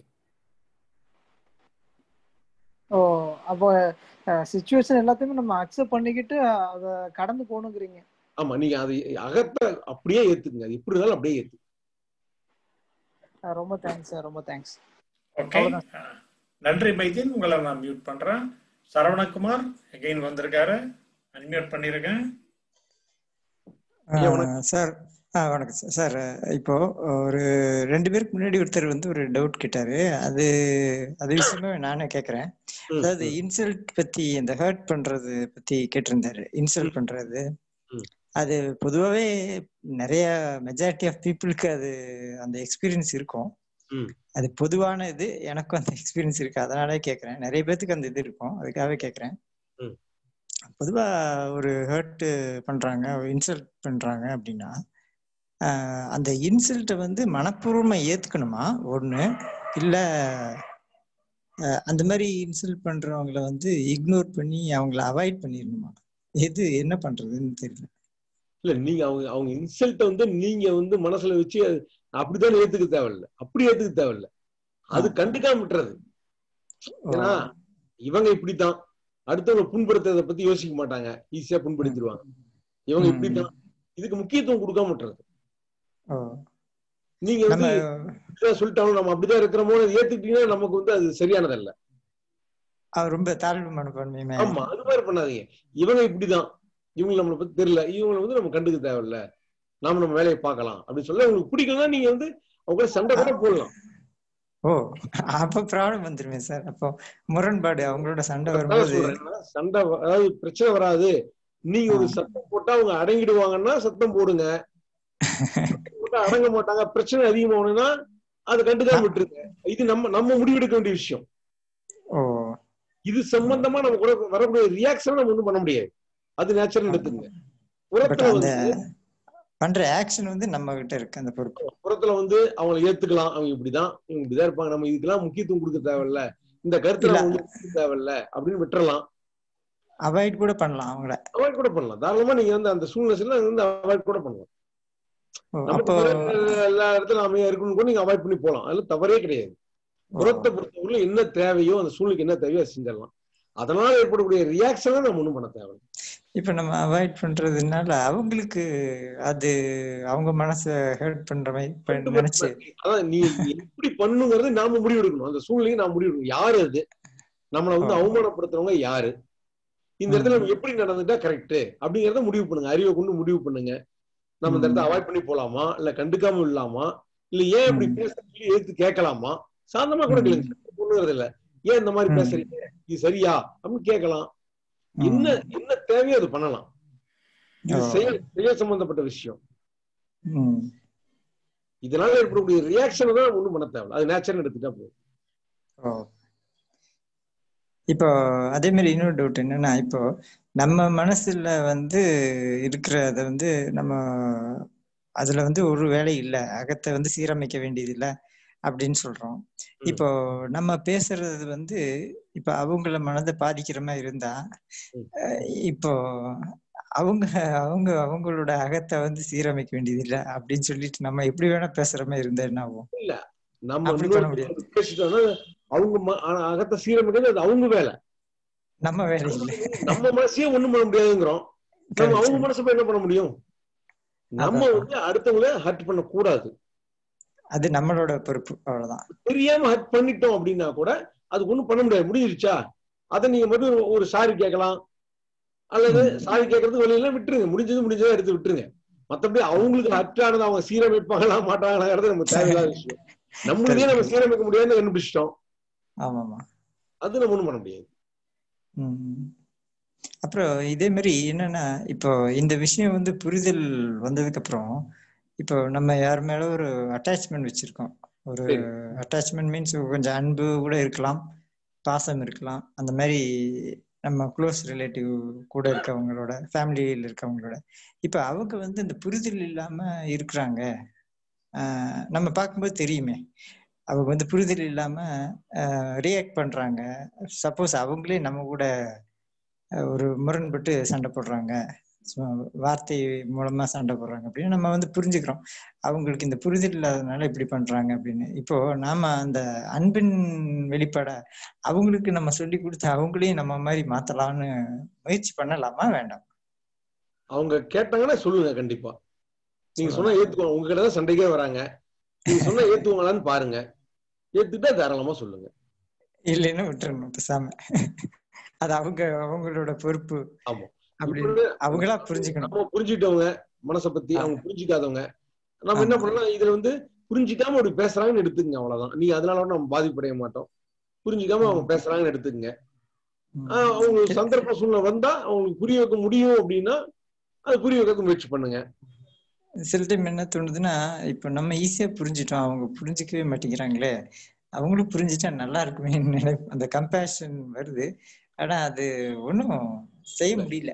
அப்படி நினைக்கிறது நல்லது தானே நீங்க நல்லது நல்லா நினைக்கிறீங்க. ஆனா வாய்ப்பு இருக்கான்னு பாருங்க. ஏன்னா அவங்க நம்மளோட சண்டை போடுறாங்கனாவே நம்மளை பத்தி ஒரு தப்பான அபிப்பிராயம் வச்சிருக்காங்கன்னு அர்த்தம். தப்பான. அபிப்பிராயம் வச்சிருக்கவங்க சொன்னதை கேட்பாங்களா? கேட்க மாட்டாங்க. கேட்க மாட்டாங்க. சோ நம்ம அவங்களுக்கு ஒரு கஷ்டம் இருக்கும்போது அவங்க கஷ்டத்தை போக்குறதுக்கு நம்ம புரிய வைக்கலாம். இந்த புரிதல் வந்துச்சுன்னா அந்த மன கஷ்டங்கிறது ஈஸியா விலகிடும். அதை நம்ம புரிய வைக்கலாம். அந்த மாதிரி நீங்க பிரச்சனைகள் வரும்போது நீங்க ஒரு நட்பா நீங்க இதை பேசி புரிய வச்சீங்கன்னா அவங்க எடுத்துக்குவாங்க. ஆமா. ஏன்னா ஒரு ஞான ஞானிகள் ஞானி வந்து தன் தன் தனக்கு தானா வாழ்ந்துடுறான். ஆனா வந்து அவரும் வந்து ஒரு ஞானியும் வந்து கூட மத்தவங்களோட சேர்ந்து தான் வாழ வேண்டிய சூழ்நிலை வரும். அப்ப சன்னியாசி மாரி துறந்து எல்லாத்தையும் வெளியே போக முடியாது. வீட்டுலதான் இருக்கணும் பல பேரோட இருக்கணும் ஆபீஸ்ல ஒர்க் பண்ணணும் ஃபேமிலி லைஃப்ல இருக்கணும் எல்லாருமே எல்லாருமே ஞானிகளா இருக்கிறதுனால அவங்க கடமையில செஞ்சுட்டு இருக்காங்க. செஞ்சுட்டு இருக்காங்க ஞானி. வெளியே ஞானின்னு சொல்லிட்டு இருக்கலாம் இருக்க முடியாது. ஆமா. இப்போ அந்த மாதிரி மனிதன் நமக்கு உண்டான கடமையை நம்ம செய்யணும். ஆமா. இப்ப அந்த மாதிரி கூட இருந்து செய்யும் பொழுது இப்ப கூட இருக்கவங்க வந்து அந்த மாதிரி ஒரு புரிதலோட இருந்துட்டாங்கன்னா இன்னும் நல்லா இருக்கும் அந்த என்விரான்மெண்ட் நல்லா இருக்கும் இல்லைன்னா கொஞ்சம் அது கொஞ்சம் போராட்டமா தான் இருக்கு. அது அதுக்குதான் குடும்பத்துல கணவன் மனைவி இருவருமே இந்த அண்டர்ஸ்டாண்டிங் இருந்தாங்கன்னா லைஃப் இன்னும் இருக்கும் நல்லா இருக்கும் கரெக்ட் கரெக்ட் ஓகே நன்றி ஓகே நன்றி சரவணகுமார் ஐயா ஃபேஸ்புக்ல ஒரு கொஸ்டின் வந்திருக்கு. அது ப்ரொஜெக்ட் பண்றேன். பண்ணுங்க. தெரியுதா?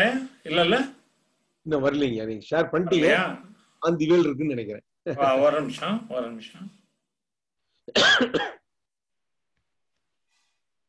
ப்ரொஜெக்ட் ஆகுது. ஓகே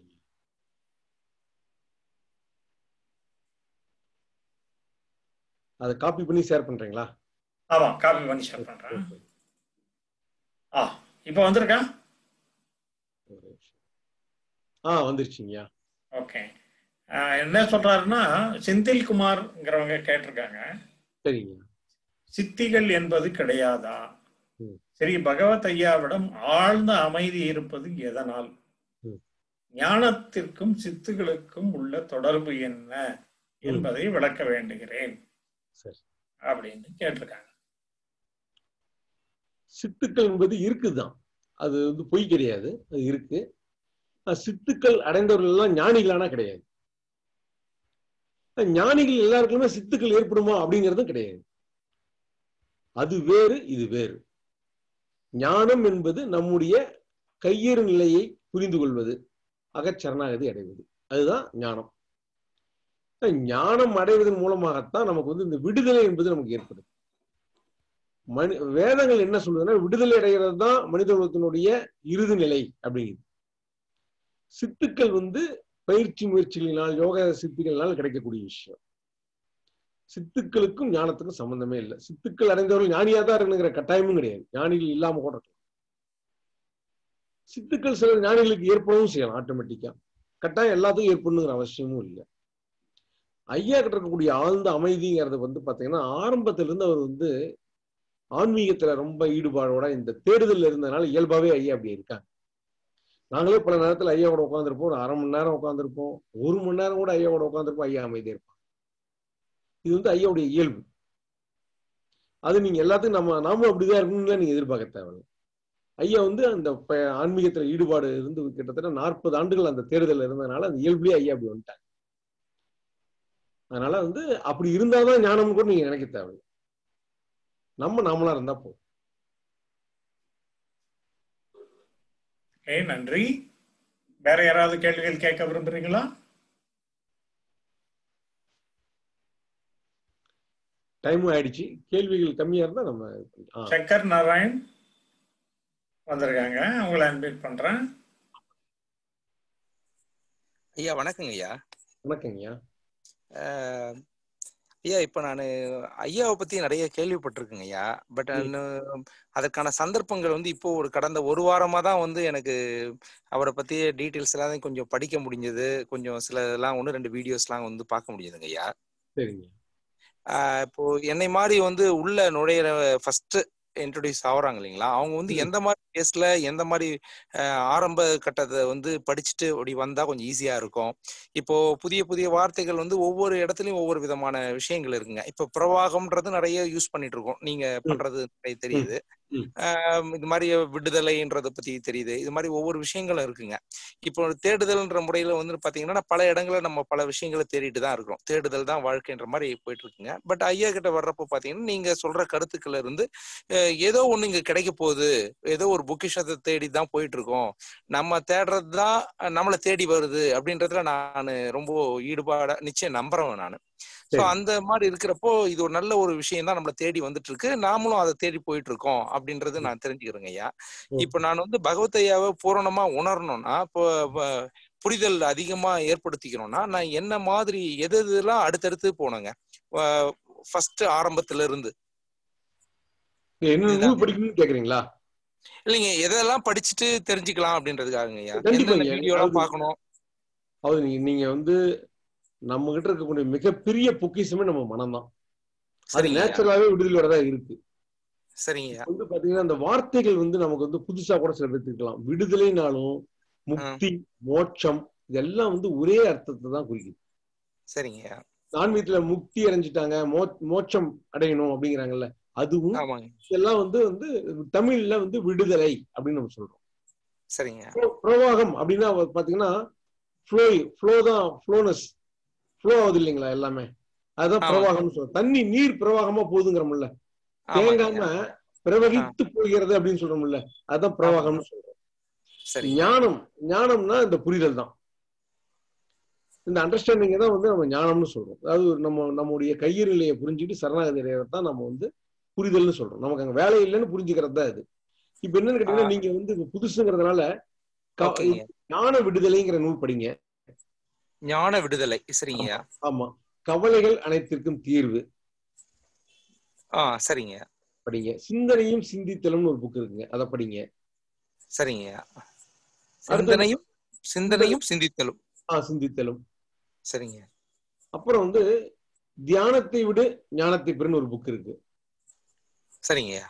இந்த நாலு புக்கும் படிச்சு விட்டு ஞான பட்டறைன்னு ஒரு புக் இருக்கு. அது என்னன்னு கேட்டீங்கன்னா இதெல்லாம் படிச்சு விட்டு நமக்கு எழக்கூடிய சந்தேகங்களுக்கு விடையளிக்கக்கூடியதா இருக்கக்கூடியதா ஞான பட்டறை ஞான பட்டறை ஓகேங்க இந்த ஞானப்பட்டறைக்குள்ள வந்து இப்ப படிச்சவர் ஒருத்தர் சொன்னாரு இது எப்பயும் வந்துருச்சு இப்ப நான் ஐயாட்ட சந்தேகம் கேட்கறப்ப கொடுக்கக்கூடிய விளக்கங்கள் வந்து அந்த நூல்லயே இருக்கு. நான் வந்து அப்ப படிக்காம விட்டுட்டேன். இந்த புக்கை வந்து தியானமா படிக்கணுமாட்டு இருக்கு அவ்வளவு கவனமா படிக்கணுமாட்டுன்னு ஒருத்தர் சொன்னாரு. சரிங்க. அதனால நீங்க என்னன்னா இந்த இந்த நாலு புக்கை படிச்சுட்டு ஞானப்பட்டறை நூல் படிச்சீங்கன்னா ஆட்டோமேட்டிக்கா நீங்க உங்களுக்கு எல்லாமே புரிஞ்சிடும் சரிங்க. இன்னும் ஒரே ஒரு இதுங்கய்யா இப்ப நம்ம யூடியூப்ல பார்க்கணும்னா எது பார்த்தா கொஞ்சம் நல்லா இருக்குங்கய்யா யூடியூப்ல நம்ம சேனல்ல. யூடியூப்ல பாருங்க ஐயா ஞான முகாம் நிறைய இருக்கு. அதுல சரவணன் ஐயாவுடைய வீடியோ எல்லாம் நிறைய இருக்கு. உதாரணங்களோட எக்ஸாம்பிளோட நிறைய சொல்லியிருக்காரு. சரிங்கய்யா ஞான புரிதல். நீங்க வேணா எனக்கு ஒரு என்னுடைய வாட்ஸ்அப்ல நீங்க ஒரு மெசேஜ் போடுங்க. நான் உங்களுக்கு அந்த நீங்க எந்த பார்த்தா ஈஸியா புரியுங்கிற உங்களுக்கு இப்ப நேற்று தான் வந்து இந்த பிரவாகம் ஐந்துல வந்து இணைஞ்சிருக்குங்க ஐயா நானு. ஓகே ஓகேங்க. ஆமா. சரிங்கண்ணா. பிரவாகம் ஐந்துல வந்து நீங்க லிங்க் வச்சு இணைஞ்சிருக்கீங்கன்னு நினைக்கிறேன். ஆமாங்க ஐயா ஆமாங்க ஐயா. அதன் மூலமா நான் இதுவே எப்படி இது இதுல கலந்துக்கலாம் ஜூம்ல கலந்துக்கலான்ற ஒரு எண்ணத்துல பண்ணங்க ஐயா அது நானு. லிங்க் அனுப்பிச்சிருக்காங்க. நீங்க நீங்க எனக்கு என் நம்பர் வந்து நோட் பண்ணிக்கங்க.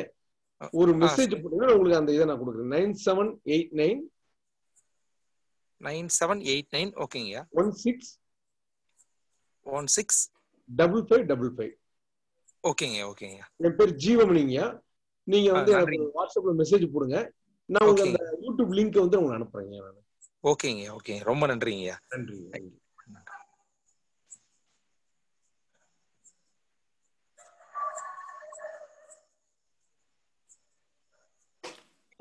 குமரகுரு அவங்க கே பேச விரும்புறாங்க. உங்களை அட்மிட் பண்ணிருக்கேன் நீங்க பேசுங்க குமரகுரு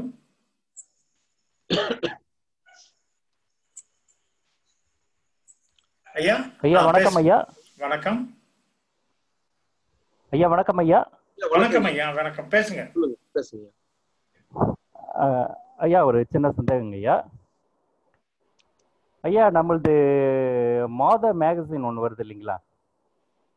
ஆமாங்கய்யா. பகவத் பாதைங்கிற மேகசின் வருது. வருது இல்லைங்களா ஐயா? அதுல நான் எனக்கு வருதுங்க ஐயா. அதுல நான் ஒரு ஃபைவ் மந்த் பேக் ஒன்று பார்த்தேங்க ஐயா. இந்த பகவத் மிஷன்ட்டு ஒன்று ஆரம்பிக்கிறீங்க. பகவத் மிஷன்ட்டு ஒன்று கட்டிக்கிட்டு இருக்கோம். அதற்காக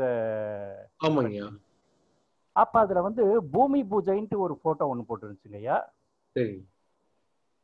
அதுல வந்து ஐயா இன்னும் ஒரு சிலர் நின்று நிக்கிறது மாதிரி ஒரு போட்டோ பார்த்தேன் நான். இப்ப எனக்கு உண்டான சந்தேகம் வந்து பூமி பூஜைன்றது அவசியமா.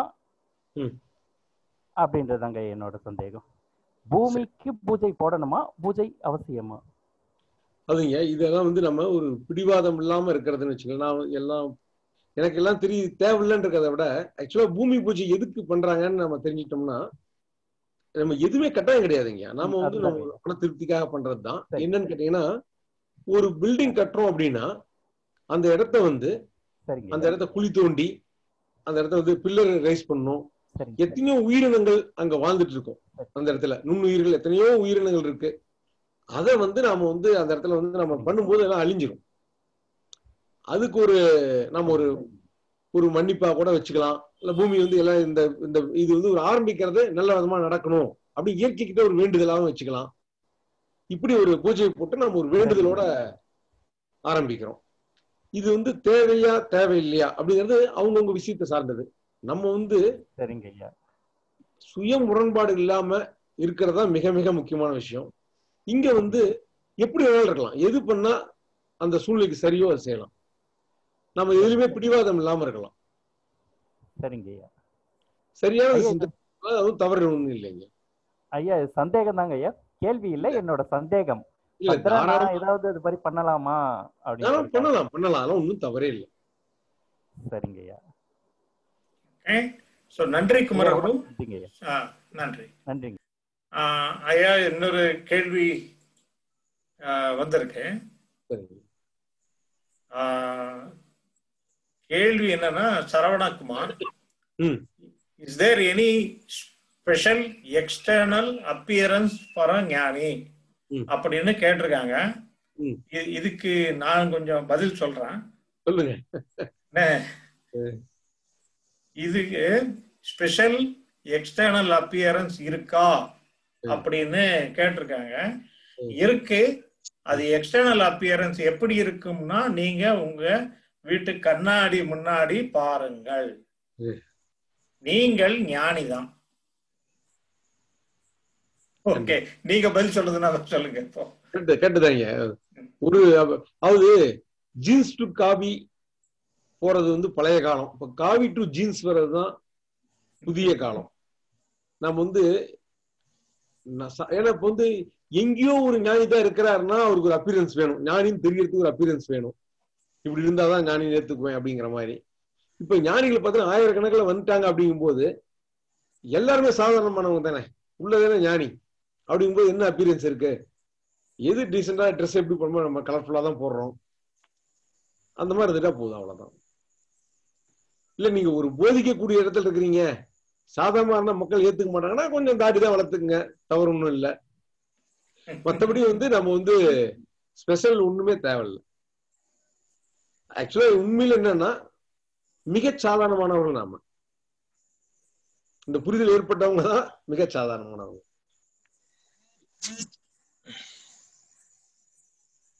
ஓகே நன்றி. டைம் கூட ஆயிடுச்சு இப்போ. க்ளோஸ் பண்ணிடலாம் ஐயா. க்ளோஸ் பண்ணிடலாமா? ஓகே ஸோ க்ளோஸ் பண்றதுக்கு முன்னாடி ஜஸ்ட் ஒரு ரெண்டு இன்ஃபர்மேஷன் ஷேர் பண்ணிக்க விரும்புறேன். இந்த பிக்சர் இப்ப நான் இது நான் பாபுலால் எனக்கு பிக்சர் முன்னாடி பேக்ரவுண்ட் இருக்கிறது வந்து நிறைய பேர் பார்த்துருக்க மாட்டீங்க. இது நம்ம பகவத் பவன் இருக்கிற இடம்.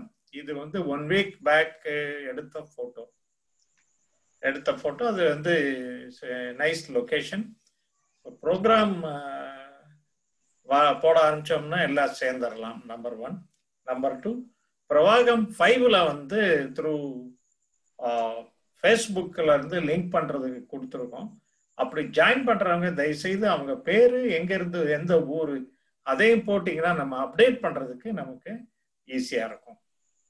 ஓகே சாட்ல யாரோ போட்டிருக்காங்க. ஓகே தேங்க்யூன்னு போட்டிருக்காங்க. இன்னொன்னு நம்ம இது வந்து யூடியூப்ல அப்லோட் பண்றோம். இதை பாக்குறவங்க அவங்களுடைய கமெண்ட்டை வந்து தாராளமா யூடியூப்ல போடலாம். அது எங்களுக்கு உதவியா இருக்கும். அதனால கமெண்ட்டும் போடுங்க. சப்ஸ்கிரைப் பண்ணுங்க என்று கேட்டுக்கொள்கிறேன். ஓகே இப்ப கிருஷ்ணா ராதாகிருஷ்ணா வந்திருக்காரு. ராதாகிருஷ்ணா சொல்லுங்க. சார் பபுலன் சார் வணக்கம் சார். வணக்கம் வணக்கம். சொல்லுங்க சார். சார் இது நீங்க போட்டிருக்கீங்களா பின்னாடி பேக்ரவுண்ட் பிக்சர் நல்லா இருக்கு. ம் ஆனா அது என்ன ஆப்ஷன் ஜூம்ல எந்த ஆப்ஷன்ல போய் இருக்கா? அது பிசினஸ் ரகசியம். பிசினஸ் நம்மளுக்கு தேவைப்படுது இல்ல சார் வாழ்க்கைக்கு தேவைப்படுது. ட்ரை பண்ண சக்சஸ் ஆச்சு. ஜூம்ல பேக்ரவுண்ட் சீன் போட்டு ஆச்சுன்னா தாராளமா வருது. ஆப்ஷன் இருக்கு. சரி சரி சரி. An ஆப்ஷன் விர்ச்சுவல் பேக்ரவுண்ட் அப்படின்னு ஜூம்ல இருக்கு. அது நீங்க என்ன நினைக்கிறீங்களோ அதை போடலாம். தட் இஸ் பாசிபிள் சரி சரி. நான் ட்ரை பண்றேன் சார் ஓகே ட்ரை பண்ணுங்க. ப்ராப்ளம் இருந்தா தனியா மெசேஜ் பண்ணுங்க. I will show you the solution boss பார்த்தானா சிரி சிரிப்பீங்க. ஓகே அதனால. Okay okay okay thank you thank you Radhakrishna okay sir okay sir அப்புறம் ஜி சொல்லுங்க. இல்ல மீட் பண்ணிட்டேன். Sorry sir Jeevamani sir. Sir சொல்லுங்க சார். சார் நீ நிகழ்ச்சி சிறப்பா இருந்தது. இப்ப கலந்திருக்கவங்களுக்கு ஒரு இது ஷேர் பண்றதுக்காக சொல்றேன். இந்த புக் எல்லாம் சொன்னீங்கல்ல? ஆமா. அதுல இந்த இது என்னது கேள்வி பதில்கள் இருக்கு பாருங்களேன் ஆமா. ஞான பட்டறை ஆமாங்க. அந்த புக்கு வந்து நான் செகண்ட் டைம் படிக்கிறப்ப ரொம்ப ரொம்ப ஸ்பெஷலா இருந்தது. ஃபர்ஸ்ட் டைம் மியூட் ஆயிட்டீங்களே. அன்மியூட் பண்ணுங்க அவரை. சார் நீ ஆ சொல்லுங்க. சார் இப்ப அந்த ஞானப்பட்டறை புக் வந்து இப்ப குரூப்ல நிறைய பேர் இருக்காங்களா? அதுக்காக ஷேர் பண்றதுக்கு தான் சொல்றேன். அந்த புக் வந்து ரொம்ப சிறப்பான புக் சார் ஃபர்ஸ்ட் டைம் படிக்கிறப்ப கூட எனக்கு முதல்ல கூப்பிட வேண்டியதானே ஏன் அவ்வளவு கஷ்டம் புரிதலுக்கு முன்னாடி படிக்கிறப்ப அவ்வளோ கரெக்டா புரியல. இப்ப செகண்ட் டைம் இப்ப படிக்கிறப்ப ஒவ்வொரு கேள்வியும் இல்ல. ஒரு கேள்வி அதுக்கு பதில். அந்த பதிலுக்கு ஒரு கேள்வி. அந்த தொடர்ச்சியா பண்ணிருக்கீங்களா? அது வந்து ரொம்ப அருமையான அரேஞ்ச்மெண்டா இருக்கு. அந்த இதெல்லாம் பார்த்தோன்னா அது இல்லாம அப்ப அந்த டைம்ல எல்லாம் ஜூம்ல நம்ம ஒவ்வொரு உரையாடல் எல்லாம் கிடையாது அப்ப அந்த டைம்ல ஆமா கான்வர்சேஷன் கிடையாது. கான்வர்சேஷன் தான் போட்டிருக்கோம் நம்ம. ரொம்ப ரொம்ப யூஸ்ஃபுல்லா ஆனா ரொம்ப அப்படியே ஒவ்வொரு கேள்வியும் ஒரு பதில். அந்த பதிலுக்கு ஒரு கேள்வி அந்த தொடர்ச்சிகள். அது எல்லாமே ஒரு ரொம்ப அருமையா இருந்தது. அந்த டைம்ல அந்த வசதி இல்லாதப்பையும் நீங்க அவ்வளவு அருமையா பண்ணிருக்கீங்க அதுக்கு எனது நன்றி. ரொம்ப மகிழ்ச்சிங்க ரொம்ப மகிழ்ச்சி. அதே மாதிரி எல்லாத்துக்கும் இதை ஷேர் பண்ணுன்றதுக்காக தான் இந்த கருத்து சொல்றேன். ரொம்ப சந்தோஷம். கண்டிப்பா எல்லாரும் படிக்க வேண்டிய நூல் தான் அது. ஆஹ் ரொம்ப தேங்க்ஸ் சார் இப்போ இப்போ இப்போ இப்போ காமிக்கிற பிக்சர் வந்து இதுதான் பவன். பகவத் பவன். ஐயாவுடைய வீடு உங்களுடைய வீடு. ப்ரோக்ராம் நடக்கும்போது எல்லாரும் வாங்க. ஓகே ஸோ இப்போ இதனோட நான் நிப்பாட்டிக்கிறேன். ஓகே ஸோ அனைவரின் சார்பாக நான் ஜியோமணி ஐயா அவர்களுக்கு நன்றியை தெரிவித்துக் கொள்கிறேன். நன்றி அனைவருக்கும் வணக்கத்தை நன்றி தெரிவித்துக் கொள்கிறேன். Facebook stop